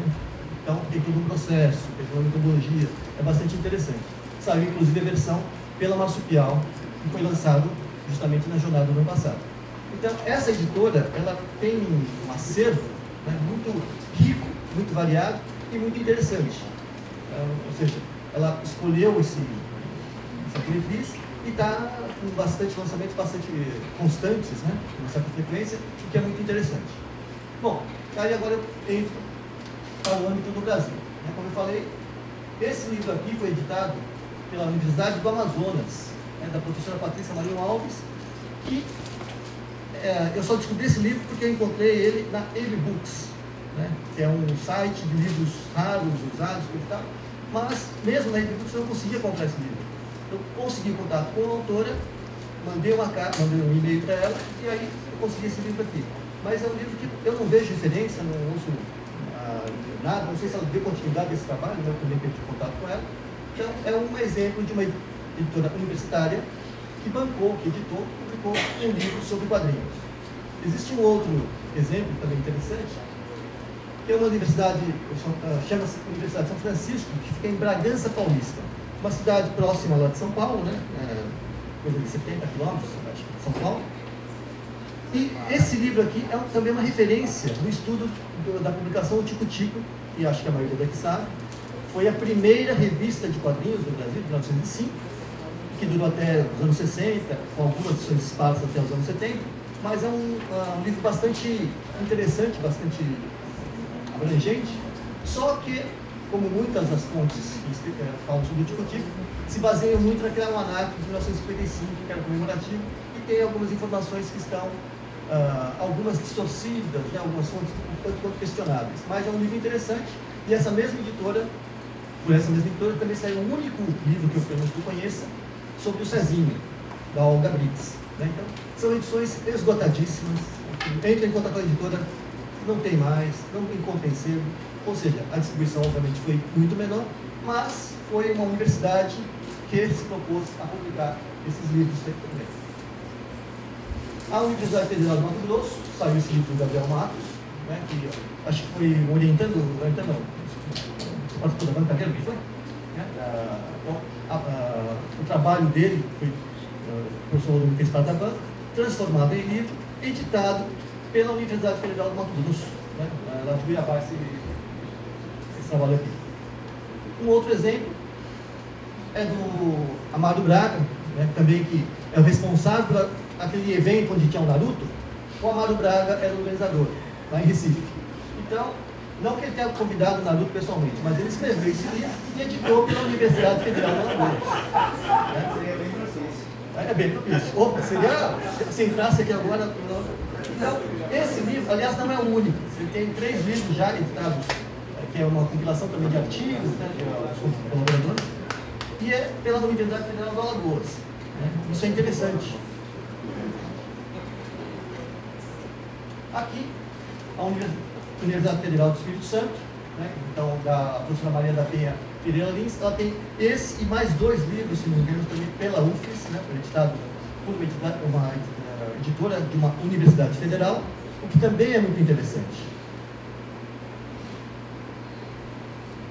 Bom, e é, o- a, a, é caso de se notar que em São Paulo, né, no caso a USP, que é a maior universidade de São Paulo, do Brasil, da América Latina, sei lá para se considerar, a própria EDUSP, que é uma editora da Universidade de São Paulo, a única referência que existe sobre livros de quadrinhos é uma reedição, uma edição não, uma edição do Diabo Coxo, né, que inclusive conta com uma pesquisa do professor ah, Canin, né, que é, é o, o professor Canin, ele escreveu um livro de referência, que foi editado recentemente, que é Os Quadrinhos, mas a grande obsessão da vida dele, o, tema da vida dele, era o Ângelo Agostino. Né? Se, ah, vocês, não sei se repararam, mas o logotipo, a- aquele desenho, a ilustração do- da segunda jornadas, né? Segunda jornada, né? Não, é o Yokin, né? E tem umas, um círculo lá, é uma escultura que tem em frente, a, a- em frente ao prédio principal da Escola de Comunicações e Artes da USP, tem uma escultura feita de, como se fossem alguns anéis compostos. Então, a ilustração é inspirada nessa escultura e o personagem Yokin. Por isso que tem realmente a ver com a imagem. Né? É muito interessante esse aspecto porque traz, é, é aquele negócio, né? É, é uma referência que quem é do meio né, entende e curte. Então, a, a Edusp mesmo não tem nenhum livro especificamente sobre quadrinhos. Só que, como eu tinha falado, né, na- nós lá do Observatório, a partir de algum momento, achamos que seria muito interessante, além de ser eh, como um brinde para quem eh, viesse nos prestigiar, né, incluído no kit do participante, deixar o registro dessa produção que é tão imensa. né? Poxa, ah, o professor ah, Paulinho ah, pontuou quantos trabalhos são feitos, quantos, quantas pesquisas são realizadas e ficam, né, vão para o banco de teses de, algum, de alguma CAPES, de, de alguma USP, e não vão exatamente para o público. Por isso que uma das maneiras de incentivar essa produção é torná-las, em forma de livro, acessíveis à população de modo geral. Então, a primeira iniciativa nossa, né, claro, foi a publicação, então, dentro do escopo das Jornadas Internacionais sobre Quadrinhos, esse livro, Intersecções Acadêmicas, que tem um- é uma compilação dos melhores artigos submetidos a jornadas internacionais, lembrando que as pessoas mandavam um resumo, passa pelo crivo de 30 eh, estudiosos, todos mínimo título de doutor, que de alguma maneira tem um trabalho vinculado a quadrinhos, pesquisam quadrinhos, ou artes sequenciais, alguma coisa que tenha, né, que leve a esse conhecimento, o resumo passa para o aí a pessoa faz a habilitação. Feita a habilitação, ela escreve o artigo, que novamente passa pelo crivo desse conselho científico, de 30 e tantos membros, todos eles pesquisadores, e dessa seleção, né, os melhores foram escolhidos para compor esse livro. Ou seja, a de la né, a nata dos artigos que vieram para nós, foi selecionada e fez parte desse livro aqui. O capítulo de introdução, além de falar um pouquinho do que o professor Valdomiro falou, do que o Paulo falou, fala também dos livros, né? A primeira produção, do livro do Acessível, do Álvaro Moy. Então, é uma, um capítulo introdutório bastante interessante nesse aspecto também. né? A gente ah, continua fazendo uma homenagem a essa primeira ah, leva de pesquisadores que abriu um caminho que não fosse eh, eles, talvez a gente estivesse aqui hoje reunidos para falar sobre quadrinhos, para ouvir sobre quadrinhos. Bom, eu só mostrar aqui. Esses aqui são os livros que saíram com selo, vocês podem reparar aqui embaixo, não sei se quem está sentado aí conseguir ver. Tem um selo ali embaixo que é o das jornadas sem o número. Porque, até voltar aqui um pouquinho. Ah, normalmente a gente coloca, para aproveitar o mesmo logo, né, já que nós não contamos com artista gráfico, a gente só coloca o número 1, número 2, número 3. Então, ele ali vazio é o símbolo geral da- das jornadas. Né? Até para a gente aproveitar as canetas que sobraram da anterior. Ah, aqui que disse essa eu vou mostrar para vocês. Ó. Essa aqui é o da segunda jornada, né? Então, essa aqui, essa colinha é da segunda jornada. Quem quiser comprar, eu estou vendendo 10 pau a dúzia, porque sobrou essa colinha, sobrou bastante. Aí, ó, da primeira sobra, a gente não consegue estimar. E outra, quando a gente encomenda né, para o fornecedor, é 500, é 600, ele não vai vender 555 sacolinhas para você. Então a gente encomenda uma quantidade, é claro, a mais, porque fica muito chato se aparecer mais gente e faltar. Mas acaba sobrando, né, porque muitos que se inscrevem, às vezes não vêm, né, mandam um artigo, ah, faz questão de eh, acompanhar né, a trajetória, se, se esse artigo é apro- apro- aprovado ou não, e tal. mas de qualquer maneira, sobra o material e a gente, puxa vida, não dá para usar de novo. Tem a data, tem o número. Então, uma jogada foi não usar número mais. As canetas da última jornada, quem foi lá percebeu, não tem o número 3. Só que isso já havia sido antecipado nesse novo e a gente acho que não tinha nem notado, né? Não, o que é legal a gente descobrir isso na terceira edição. Pois é. Também. Achou um pouquinho lento. É que depois da segunda, sobra um monte de caixa. Aí a gente vê que tem uma caixa né, de bolsas, de caneta, coisa e tal. Aí que a gente vai se dar conta que não tem mais onde colocar a caixa. Por isso que a gente fica esperto. Né? A experiência. Mas antes mesmo de ter eh, aventado essa hipótese, para colocar na capa do livro e não ficar datado, nós não colocamos. Né? Então ele ficou sem o número. ah, o eh, ou seja, a gente só veio adotar esse logotipo depois, né, muito depois que os livros haviam sido publicados. Então, tem esse livro aqui né, e esse segundo livro, que, como o Paulo até antecipou, ele fala da, da trajetória de cada um dos pioneiros que compuseram aquela mesa histórica que a gente comentou. Esse autor aqui, que é o terceiro, esse aqui é o professor Marcos de Mello, que por questão de transportes, ele. Bom, a gente esquece- esqueceu de providenciar transporte, foi isso? Nós mandamos um e-mail para ele. Ele É. respondeu, mas estava com data errada o e-mail dele, então É. não o e-mail. Teve equívoco, né? houve um desencontro de informações e ele tinha até confirmado que viria, mas acabou não vindo, acabou não compondo a mesa, então foi o único daquele, ah, ah, daquelas pessoas, da- grupo de pessoas que foram os pioneiros que não pôde comparecer, que ele esteve presente naquela mesa. Só que de qualquer forma, nós, aproveitando aquele ensejo, né, pedimos para que cada um deles produzisse um texto sobre a sua própria trajetória, a sua própria carreira, nos enviasse para que a gente transformasse isso num livro. Entendeu? É, esses, livros todos, onde que eu posso encomendar, onde que eu posso comprar? Bom, esses livros, eu vou até eh, detalhar algumas coisas depois, quase todos eles foram editados pela Criativa. É uma parceria que a gente conseguiu com uma editora de São Paulo, que também com a Comics, né, que é uma grande livraria, grande não, ela tem um espaço até restrito, mas ela é, acho que talvez a mais importante ponto de comércio de quadrinhos de São Paulo. E ela sempre participa de eventos. Então, quando tem FIC, eles têm stand, quando tem a Bienal do Rio aqui de Janeiro, eles também montam. E é bastante requisitado, faz fila, o pessoal. Porque é lá que vocês encontram quadrinhos de fato, né? Então, esses livros no site. A Criativo, às vezes, ela distribui em banca naquele nível. Eu já achei livro seu em banca. Em banca? Em banca. Olha, eu já achei livro meio em banca, mas não da Criativo, da Escala, que é um curso de design. Não, eu já, eu já achei livro seu da Criativo em banca. Bom, então, olha, não tem desculpa não cobrar, hein? O livro tá na banca. tá? Obrigado, hein? Olha, sou gentil, mas combinou. Bom, os pioneiros dos, quadrinhos do Brasil, né? Então, é um livro que, para quem quiser conhecer um pouquinho de cada um deles, tem ali a, a vida, né? a trajetória acadêmica, a trajetória de produção. E, né, já que o Paulo comentou sobre esse assunto, ele tem uma peculiaridade. A gente estava quase no prazo, porque esse livro tem que ficar pronto para ser distribuído nas jornadas que eram em agosto. E acho que já era maio, né? junho, julho, acho que junho, quase julho, faltavam duas biografias. né? Os outros já tinham mandado, ou então já antecipadamente, né? já tinham texto pronto, está aqui, mandaram para a gente. Agora, dois autores, a gente mandava e-mail, elegantemente pedia, solenemente eh, ignorava, é normal, né? Só que, quando a gente estava para fechar o livro, bom, se não tem dois, tudo bem, né? Só que um deles mandou. E aí seria muito indelicado um ficar de fora. Né? Então, esse um, que foi o professor uh, Canini, né? Antônio Canini, eu com o editor, né, a gente me olha, ah, qual é o seu prazo limite? Né? Qual é a hora que você fala, olha, vai entrar em gráfica?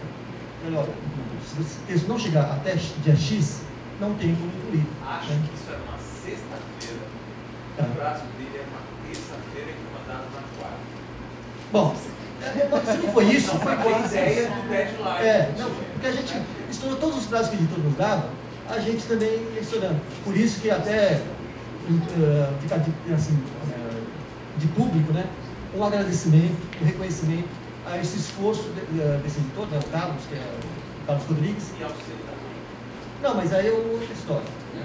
Não, eu estou falando dos livros todos, que ele sempre segura as pontas, né? Porque o cara realmente é insano. A gente falou, não vai ficar pronto. Teve livros que eu fui buscar no sábado à noite, na casa dele, né? porque a gente tinha que já ter, montar os kits na segunda-feira. Então, é realmente é uma coisa meio louca, mas a gente faz. Né? É, é, usam como trilha sonora o tema de Missão Impossível? quando dá, sim. Otávio, É. esse eu não sei até hoje saiu isso. Foi questão de ele o controle de tudo. Sim. Questão de. sim. É, foi uma coisa realmente. foi um Foi, passando. insano. Tá. Não, e pior assim, a gente é, entrar em contato com o professor Caminho e falar, não tenho como escrever. Olha, professor, então é o seguinte, o senhor pode me receber por duas horas, a gente conversa, é, eu, eu entrevisto o senhor, transcrevo esse texto, dou uma, né, uma, um jeito de, como se fosse o seu, um, um texto você escreve, fato foi como aconteceu. Porque se- não, porque de outra maneira não daria. Não, mas é porque ou a gente eh, saía com esse texto desse jeito, ou ficava aquela coisa, né? Faltam dois, ah, né, agora falta um só, parece que é contra ele, né? Parece que é uma perseguição. Então, a gente fez todos os esforços para que o livro saísse, e ainda bem que saiu. Né? Por infelicidade, o grande projeto da vida do professor Canini era fazer uma grande obra sobre o Ângelo Agostini. Mas ele era tão minucioso, ele foi para a Itália, fez pesquisa, encontrou o túmulo do Ângelo Agostini, né? só que ele disse que não- nunca conseguiu efetivamente ah, confirmar a data de nascimento do Ângelo Agostini. Saíram pelo menos dois livros sobre ele, um do Mar- Maringoni, né? É, Gilberto Maringoni, e o outro, Marcos Balanian, saiu pela eh, editora da Unicamp. E o professor, infelizmente, não lançou o livro dele, que seria talvez o definitivo, né, de fato, porque tempos depois, poucos tempos, poucos meses depois, né, a gente até participou do lançamento junto lá na Comics do livro, mas ele infelizmente faleceu. Bom, aí esses dois livros saíram com o selo da jornada. Né? Mas, era aquele lance, ah, a gente já faz pouco, né? Já faz jornada, tal, tá bom. Não, vamos fazer livro também, né? vamos organizar os livros também. E aí criou-se esse selo, que para, tinha muito pessoal aqui, para meu grande prazer, ah, ela, ela acaba concretizando aquilo que realmente acho que é importante. Né? É claro, é gostoso a gente estudar, a gente pega um tema, se debruça, lê. Ah, O professor Baldwin até fala, né? A gente estuda quadrinhos para justificar continuar lendo de vida depois de velho. É verdade. É, olha, o professor Baldwin diz isso. Mas é verdade, olha, gente, vou, vou ser sincero, não sei se alguém do, do CAPES pode me processar depois. Mas eu nunca, quando tem, quando você é bolsista, tem aquela bolsa para auxílio bancário, né? tem nome aqui lá, né? Eram 300 pau que gastava em gibi sem dó. Que, se você não gastar, você tem que devolver. É meu material de pesquisa. Né? Eu, então, puxa vida, comprava os gibis assim, achava maravilha. Infelizmente, não tenho bolsa mais, né? por isso que eu não, leio, não compro mais gibi. Né? Mas, de qualquer forma, é, claro, é muito prazeroso, é muito bacana, mas é claro, né, como pesquisadores, como estudiosos, a gente tem que se preocupar em que isso, de alguma maneira, contribua né, para o campo, para a sociedade, os leitores. Né? Então, eu sempre senti a falta de ter uma coleção de livros ou ah, livros que o observatório endossasse. Não precisa ser necessariamente que sejam pessoas do, do núcleo do observatório, mas que passassem por esse crivo de observatório, né, que o observatório tivesse esse olhar sobre esse livro e ele fosse lançado. E foi efetivamente o que acabou acontecendo, porque justamente nas jornadas do ano passado, Não, antes. Né? Na primeira jornada, que é essa aqui do, temática, foi lançado o primeiro livro com o selo aqui, ó, do observatório. Aqui, ó. Você dá para ver aqui. Então foi a primeira vez que o observatório inseriu o selo na capa de um livro. Não é editado pelo observatório. Né? Novamente é a parceria com a Criativo. Só que a gente deixa bem claro, não é um contrato, não é exclusividade, tanto é que vou mostrar um exemplo de um livro que não saiu pelo, pela Criativo e tem o selo, né? e também não significa que tem que ser ou, ou o professor Valdomiro, ou o Paulo, ou eu, um dos autores. Né? Não é um requisito, não é isso que também vou mostrar para vocês o que acontece depois. Bom, então, saiu esse livro aqui, que também é uma coletânea de são ensaios sobre o tema da, do tema da própria jornada, né, do, da primeira da temática, que é justamente quadrinhos de literatura. Então, a pessoa que foi ao, às jornadas, né, assistiu às palestras, assistia às mesas, debates, porque também recebemos artigos, recebemos os resumos. Depois das apresentações das mesas temáticas, havia uma palestra com todos os públicos envolvidos, quer dizer, todos não, porque talvez tenha faltado olhar dos professores, mas vieram autores, vieram editores e vieram representantes de órgãos que, ah, que adquirem livros para o governo. Então, uh, por que desse boom né, de adaptações literárias? Então, nós tivemos um olhar de cada um dos elementos que compõem essa cadeia. Talvez, não dá para esgotar todos, né, obviamente, mas dos principais, talvez a gente conseguiu e foi um debate muito interessante. Nesse aspecto, a gente trouxe né, um olhar, uh, uma visão 360 graus sobre o fenômeno e, além do debate, além das mesmas temáticas, a pessoa ainda volta para casa com um livro né, que tem vários artigos sobre esse assunto. Então, a, gente tem essa preocupação né, de que a pessoa realmente uh, venha, assista, aproveite o conhecimento e gaste né, essa despesa que ela tem com a inscrição, acaba sendo revertida no livro. Né? Porque esse livro também a gente consegue, ou de alguma maneira, com o dinheiro das inscrições, ou consegue pagar a, preço de custo com a editora. Então, a, a gente tem conseguido até agora equacionar e sempre dar de brinde um livro, pelo menos, para os nossos, uh, as pessoas inscritas. Esse livro aqui, né, então, ele já é, já foi distribuído na jornada passada. Então, foram três livros que ele distribuiu. Esse aqui é o que homenageia o professor Caninho, está ali Antônio Piscaninho, organizado pelo professor Valdomiro Brigueiro e pelo Roberto Elísio dos Santos, que, diga-se de passagem, o professor Valdomiro ele é o coordenador do observatório. O Roberto Elísio ele é o vice-coordenador. Né? Então, é também uma das pessoas que estão ah, na linha de frente da pesquisa, ele é um especialista em Disney, né? o melhor livro que eu já li sobre ah, Disney no Brasil. Né? E mesmo comparando com referências internacionais, é um excelente livro é, é, para render o Pato Donald, né? e ele é autor de um outro livro também, bom, aqui é o que havia citado do professor Elite, né?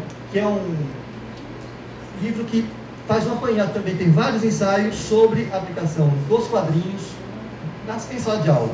Né? A gente participou com alguns capítulos, mas os autores, oficialmente, são a, o Elídio e a Marta, a esposa dele, também é professora. Né? É, esse livro aqui são dois volumes. E eu trouxe até um aqui que depois, não sei como a gente faz esquema para sortear. Né? É, a gente pode, ao terminar a, a palestra e encerrar, tá? fazer um rápido sorteio aqui sim, sim. entre uma pergunta bem nerd. Assim, é, tá? se acertar. Porque quem foi? Eu tenho uma proposta melhor, talvez mais rápida. E aí menos pessoas. Vai lá para fora, joga pro alto. Pô, essa é maneira. Filma também. Faz esse negócio. Não, acho que fácil. Se for, ou então cada um sai com um pedaço do dinheiro. Vamos resolver por meio da, da cultura geral. Sim, sim. Vamos encerrar a palestra e vamos testar como é que está a cabeça da garotada. Bom, esse livro aqui é o que eu, um exemplo que eu havia comentado, que é do Roberto Elísio? Ele não é da organização da jornada, né? embora faça parte do observatório, né? mas é um livro sobre a revista MED. Né? Ele conta a trajetória da revista, que foi publicada, começou a ser publicada na VEC, aqui no Rio de Janeiro, nos anos 70, passou por outras editoras e continua até hoje, né? mudou bastante a linha, mas a importância da MED é que foi uma das publicações que talvez tenha dado mais espaço ao autor nacional, né? nesses anos todos, continuamente ah, várias gerações de artistas brasileiros. Eu lembro que o primeiro, se não me engano, foi o Vilmar, ah, o primeiro artista brasileiro a ser publicado na revista Med. Foi mesmo? Vilmar? E o Carlos Augusto Novaes fazia roteiros né, para a revista. E entre outras, muitas pessoas. Bom, esse aqui também é um livro que saiu com o selo ali do Observatório, mas editado pela marca de fantasia, né, de autoria do professor Valdomiro e da professora Regina Bear, que fala sobre quadrinhos, né, ah, especificamente lá na Paraíba, mas com a pesquisa dela, um personagem chamado Maria, que é do Henrique Magalhães. né. Então, esses trabalhos todos que a gente quer mostrar é que o vínculo da academia com a produção, né, com alguma coisa que vai eh, deixar o resultado de uma pesquisa, ela está sendo crescente. Então, se aqueles números de, de livros, né, evoluiu para 22, é um número bastante expressivo. Como eu já falei, houve anos em que não saiu livro nenhum. É, a gente procurava, continuava fazendo referência àqueles livros dos anos 70, raros, né? Teve o Ronaldo Cavalcante, que saiu nos anos, também nos anos 70, que era o mundo dos quadrinhos, esses, ah, os heróis de papel, os super-heróis de papel. Então, algumas iniciativas esparsas. Algumas, como eu mostrei para vocês, de algumas universidades, algumas ah, instituições ou ah, públicas ou privadas, mas mais recentemente, né, ah, particularmente no âmbito do observatório, a gente tem conseguido produzir esses livros, nessas colet- ah, coletâneas de artigos, de ensaios, e a gente espera que, é claro, esse quadro, né, 22, a gente, quem sabe, bate um recorde no ano que vem, né, de livros sobre quadrinhos. O mercado atual, o momento atual é complicado, mas sempre lembrando que, por incrível que pareça, né, a gente vive profetizando o fim do livro, né, o livro acabou, agora é Kindle, agora é, é e-book, mas ainda assim, 22 livros, ou 25, né, se a gente for pegar na- efetivamente quantos livros foram lançados, é um número fantástico. Ou seja, reflete a preocupação sobre o tema, reflete a, uma certa pró, uma receptividade, né? ou seja, o público quer esse tipo de livro, e reflete, obviamente, né, a, a capacidade de produção das pessoas que estão nesse meio. Né? Então, se são 22 livros, então são no mínimo 22 autores que se debruçaram, então tudo bem, é a, um, um autor que escreveu dois livros, sei lá. Lembrando que, como a jornada são bienais, para efeito de lançamento, porque a gente só faz o lançamento efetivamente né, de livros mais recentes. A gente não vai pegar um livro que foi lançado há 10 anos e eh, chamar para o lançamento. Mas os últimos dois anos, porque é justamente o período entre uma, eh, uma jornada e outra. né. Mas mesmo assim, eu tenho quase certeza, daquela lista de 20 e poucos livros, quatro ou cinco eram do ano anterior. A grande maioria foi realmente, efetivamente, produzida, editada, publicada em 2015. né. Então, era isso que eu queria mostrar para vocês, né? incentivar, inclusive, a quem realmente tem interesse em publicar. As editoras estão mais receptivas, estão mais abertas a essa publicação. E acho que com isso eu encerro a minha apresentação para mostrar então os livros que eu vou deixar. Esse aqui então fica como doação da biblioteca, né, que é um dos pioneiros. Tem um livro do Roberto, e esse aqui é outro, que é de práticas educativas, para a gente ah, sortear os livros. Esse aqui foi um dos livros ah, dados para quem foi na jornada do ano passado. Então quem foi já tem esse livro. né? Professor, doar para a biblioteca, não? Esse aqui eu- Tá, esse aqui nós já combinamos que vai para a biblioteca, certo? E estamos querendo prestigiar os ah, alunos aqui presentes, tá? Ah, por meio da doação de dois títulos, certo? E ah, íamos fazer então um, um quiz rapidinho, tá? certo? Quem é, levanta a mão e só vale para os que levantarem a mão, tá? Então, vamos... A gente faz agora esse debate. Espera aí, mas ó, tem que dizer quem não pode. Otávio Aragão não pode. Não pode. Quem mais não pode? Mas, jogo rápido, né? É, Você não pode também. Um prato aplicativo. Vamos lá. Oficialmente, qual foi o primeiro personagem do Maurício de Souza? Ganhou. 1959, oficialmente, Turma da Mônica começa com o nosso querido Bidu. Tá? É. Eu entrei cuidado na saída, viu? Pera mais, deixa eu jogar pro alto. Próxima, atenção. Próxima é submete. Eu vou jogar pro alto. Eu vou jogar pro alto. Ó, tô falando sério. Vou fazer a contagem até três. Vai jogar? Três. Vamos lá? Preparem-se para ninguém se machucar. Não, é o médico. Vamos lá. A sugestão imbecil, comportamento idiota. Um, dois, três, faz isso. Tá, é quem pegar.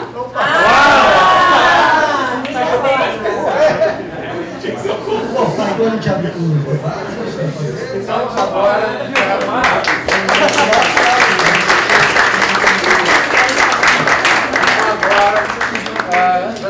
nossa reta final. Por favor.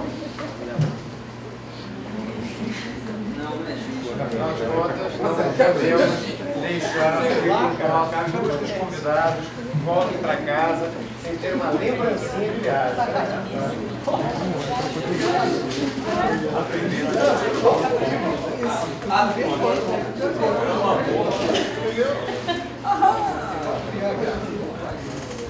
Assim, fazer um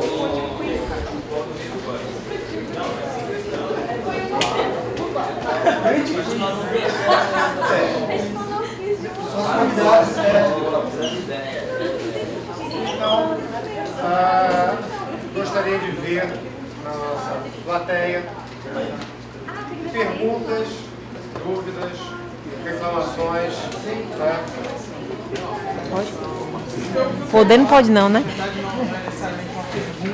Também né, tem uma pergunta e uma colocação a fazer. né? A pergunta, no caso, seria direcionada ao acho que Valdomiro, que seria em relação, por exemplo, primeiro agradecer a, pes- a pesquisa que você está fazendo, que acaba sendo também um grande incentivo para quem quer pesquisar, sabe, ver que é, manifestações dessa forma estão acontecendo em todos os lugares, né? E você colocou como sendo um problema muito grande a, o número de pesquisas na área de artes. E eu, como, como ex-estudante, né, como formado em artes, presenciei muito essa dificuldade até na, na figura de muitos professores que desvalorizavam os quadrinhos. Né? Só que quando eu estava para terminar o curso, entrou um professor que ele era grande defensor e estudioso dos quadrinhos. Então, foi o que, que me salvou assim, na- no final da graduação. Eu queria saber, na sua opinião, por que que acontece esse, na, na sua opinião, claro, por que que acontece essa grande resistência? E a outra colocação que eu queria fazer é, é, somando ao que o Paulo Ramos falou, que ele deu uma citação muito rápida em relação a aspas, que é a Associação de Pesquisadores em Arte Sequencial, que ela é uma associação que ela é aberta a novos associados. Quem tiver interesse pode entrar no- na internet, pode pesquisar no, no pesquisa simples no Google. Você consegue achar o site da Aspas, consegue ver mais informações. Porque é uma, é uma associação que é bem interessante para quem é interessado em pesquisar, porque tem uma pluralidade imensa de pesquisadores de todas as áreas, é, reuniões anuais, né, tem eventos anuais. Esse ano vai ter um evento em Goiás, lá com o caso do Edgar Franco, né, lá na UFG, UFG, né, UFG. Então, quem tiver interesse, acho que a Aspas é uma é é um um lugar muito interessante. né. Qual é o seu nome mesmo? Igor. Igor. Bem, Igor, para pensar na questão por que existe tanta resistência por parte do- dos pesquisadores da área de artes em relação aos quadrinhos. A gente teria que voltar, na realidade, no tempo, né, e lembrar a trabalhos como o de Benjamin, né, que vão discutir a questão da arte na, repro- no, numa, no ambiente de reprodutibilidade técnica. Eu não me lembro o título exato do artigo dele, mas é, é um artigo seminal para essa discussão. Né? É, exatamente, havia uma, sempre o- a área de artes, ela foi muito resistente à, à produção que era para dirigir as massas e, e que é, andava- entrava no circuito de produção cultural, é, de cultura de massa. né? Então, a gente tem que pensar, é, é ne- está aí a raiz da, da resistência. né? Então, a, a história, por ser produzida para ser reproduzida, né? para ser produzida e distribuída em grande número, ela, a, a história em quadrinhos acaba sendo vista como uma arte menor. né? E daí a resistência do- do- dos pesquisadores de arte de aceitar histórias em quadrinhos é, na, na- como uma arte legítima. Por favor. Rodomiro, eu infelizmente perdi a fala da sua fala. E assim, só queria dizer que eu sou um dos pesquisadores que já tem alguns anos que estou batalhando para instituir, né, institucionalizar dentro de uma faculdade de artes as histórias em quadrinhos como uma forma legítima, uma linguagem legítima artística. E assim, tenho conseguido razoavelmente, né, lentamente fazer isso. Então, já tenho na, no bacharelado em artes da Universidade Federal de Goiás quatro TCCs defendidos de criação de história em quadrinhos, de álbum de história em quadrinhos autoral. E, e agora consegui, né, a gente está levando lá esse evento, que foi dito aqui, que é o evento da ASPAS, o terceiro Fórum Nacional da ASPAS, que vai acontecer lá na Faculdade de Artes Visuais e tem como tema é, a arte dos quadrinhos. O tema esse ano né, que é, a gente está tentando, lutando aí para que tirar esse preconceito dentro do campo das artes para que elas sejam aceitas. Não é fácil, né? Eu sou, eu sofro muito preconceito dentro da escola, mas eu sou um batalhador. Não, sem dúvida. Eu acho que o Edgar é um dos, talvez um dos poucos professores da área. Não temos muitos professores da área de artes que defendam os quadrinhos. Né? Que você, eu conheço um outro na, em Minas Gerais, né? A Paula Mastroberg do Sul, são pouquíssimos. Né? Porque é- porque é exatamente a, a, a área de artes foi sempre muito resistente aos quadrinhos. O que é arte? Né? Daí ele vai, a arte para eles é, é pintura, a arte é ilustração, a arte é literatura e assim por diante. Né? Mas quadrinhos não é. É, não, assim, colocar mais uma informação como- comparando como é que isso acontece com outros grupos, com, com outros cenários assim, da pesquisa de quadrinhos. Porque existe essa, essa relação da arte com a pesquisa em quadrinhos ainda um tanto, se bem que de longe, né, aqui no Brasil, mas está todo mundo fazendo propaganda, tem vontade de fazer propaganda também do meu grupo de pesquisa.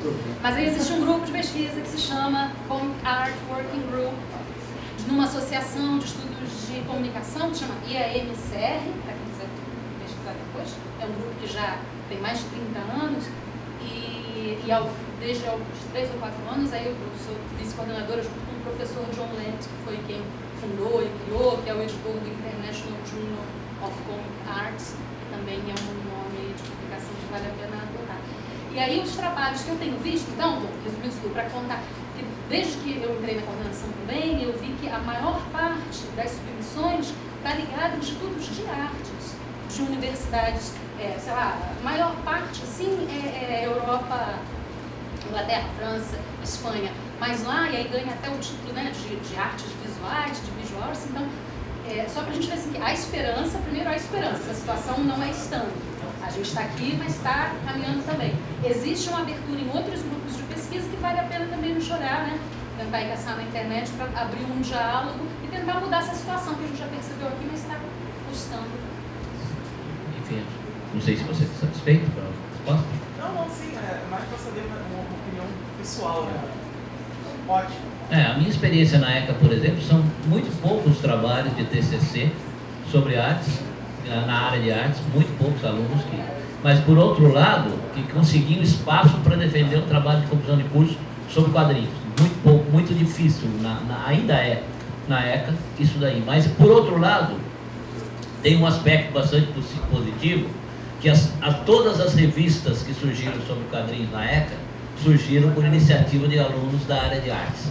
Tivemos várias revistas que dura- duraram até um tempo razoável e produzidas por alunos da área de artes. Então, o que, o que me mostrava aqui, os alunos queriam es- estudar quadrinhos. É a, a- a- o corpo docente é que não aceitava os quadrinhos. tá?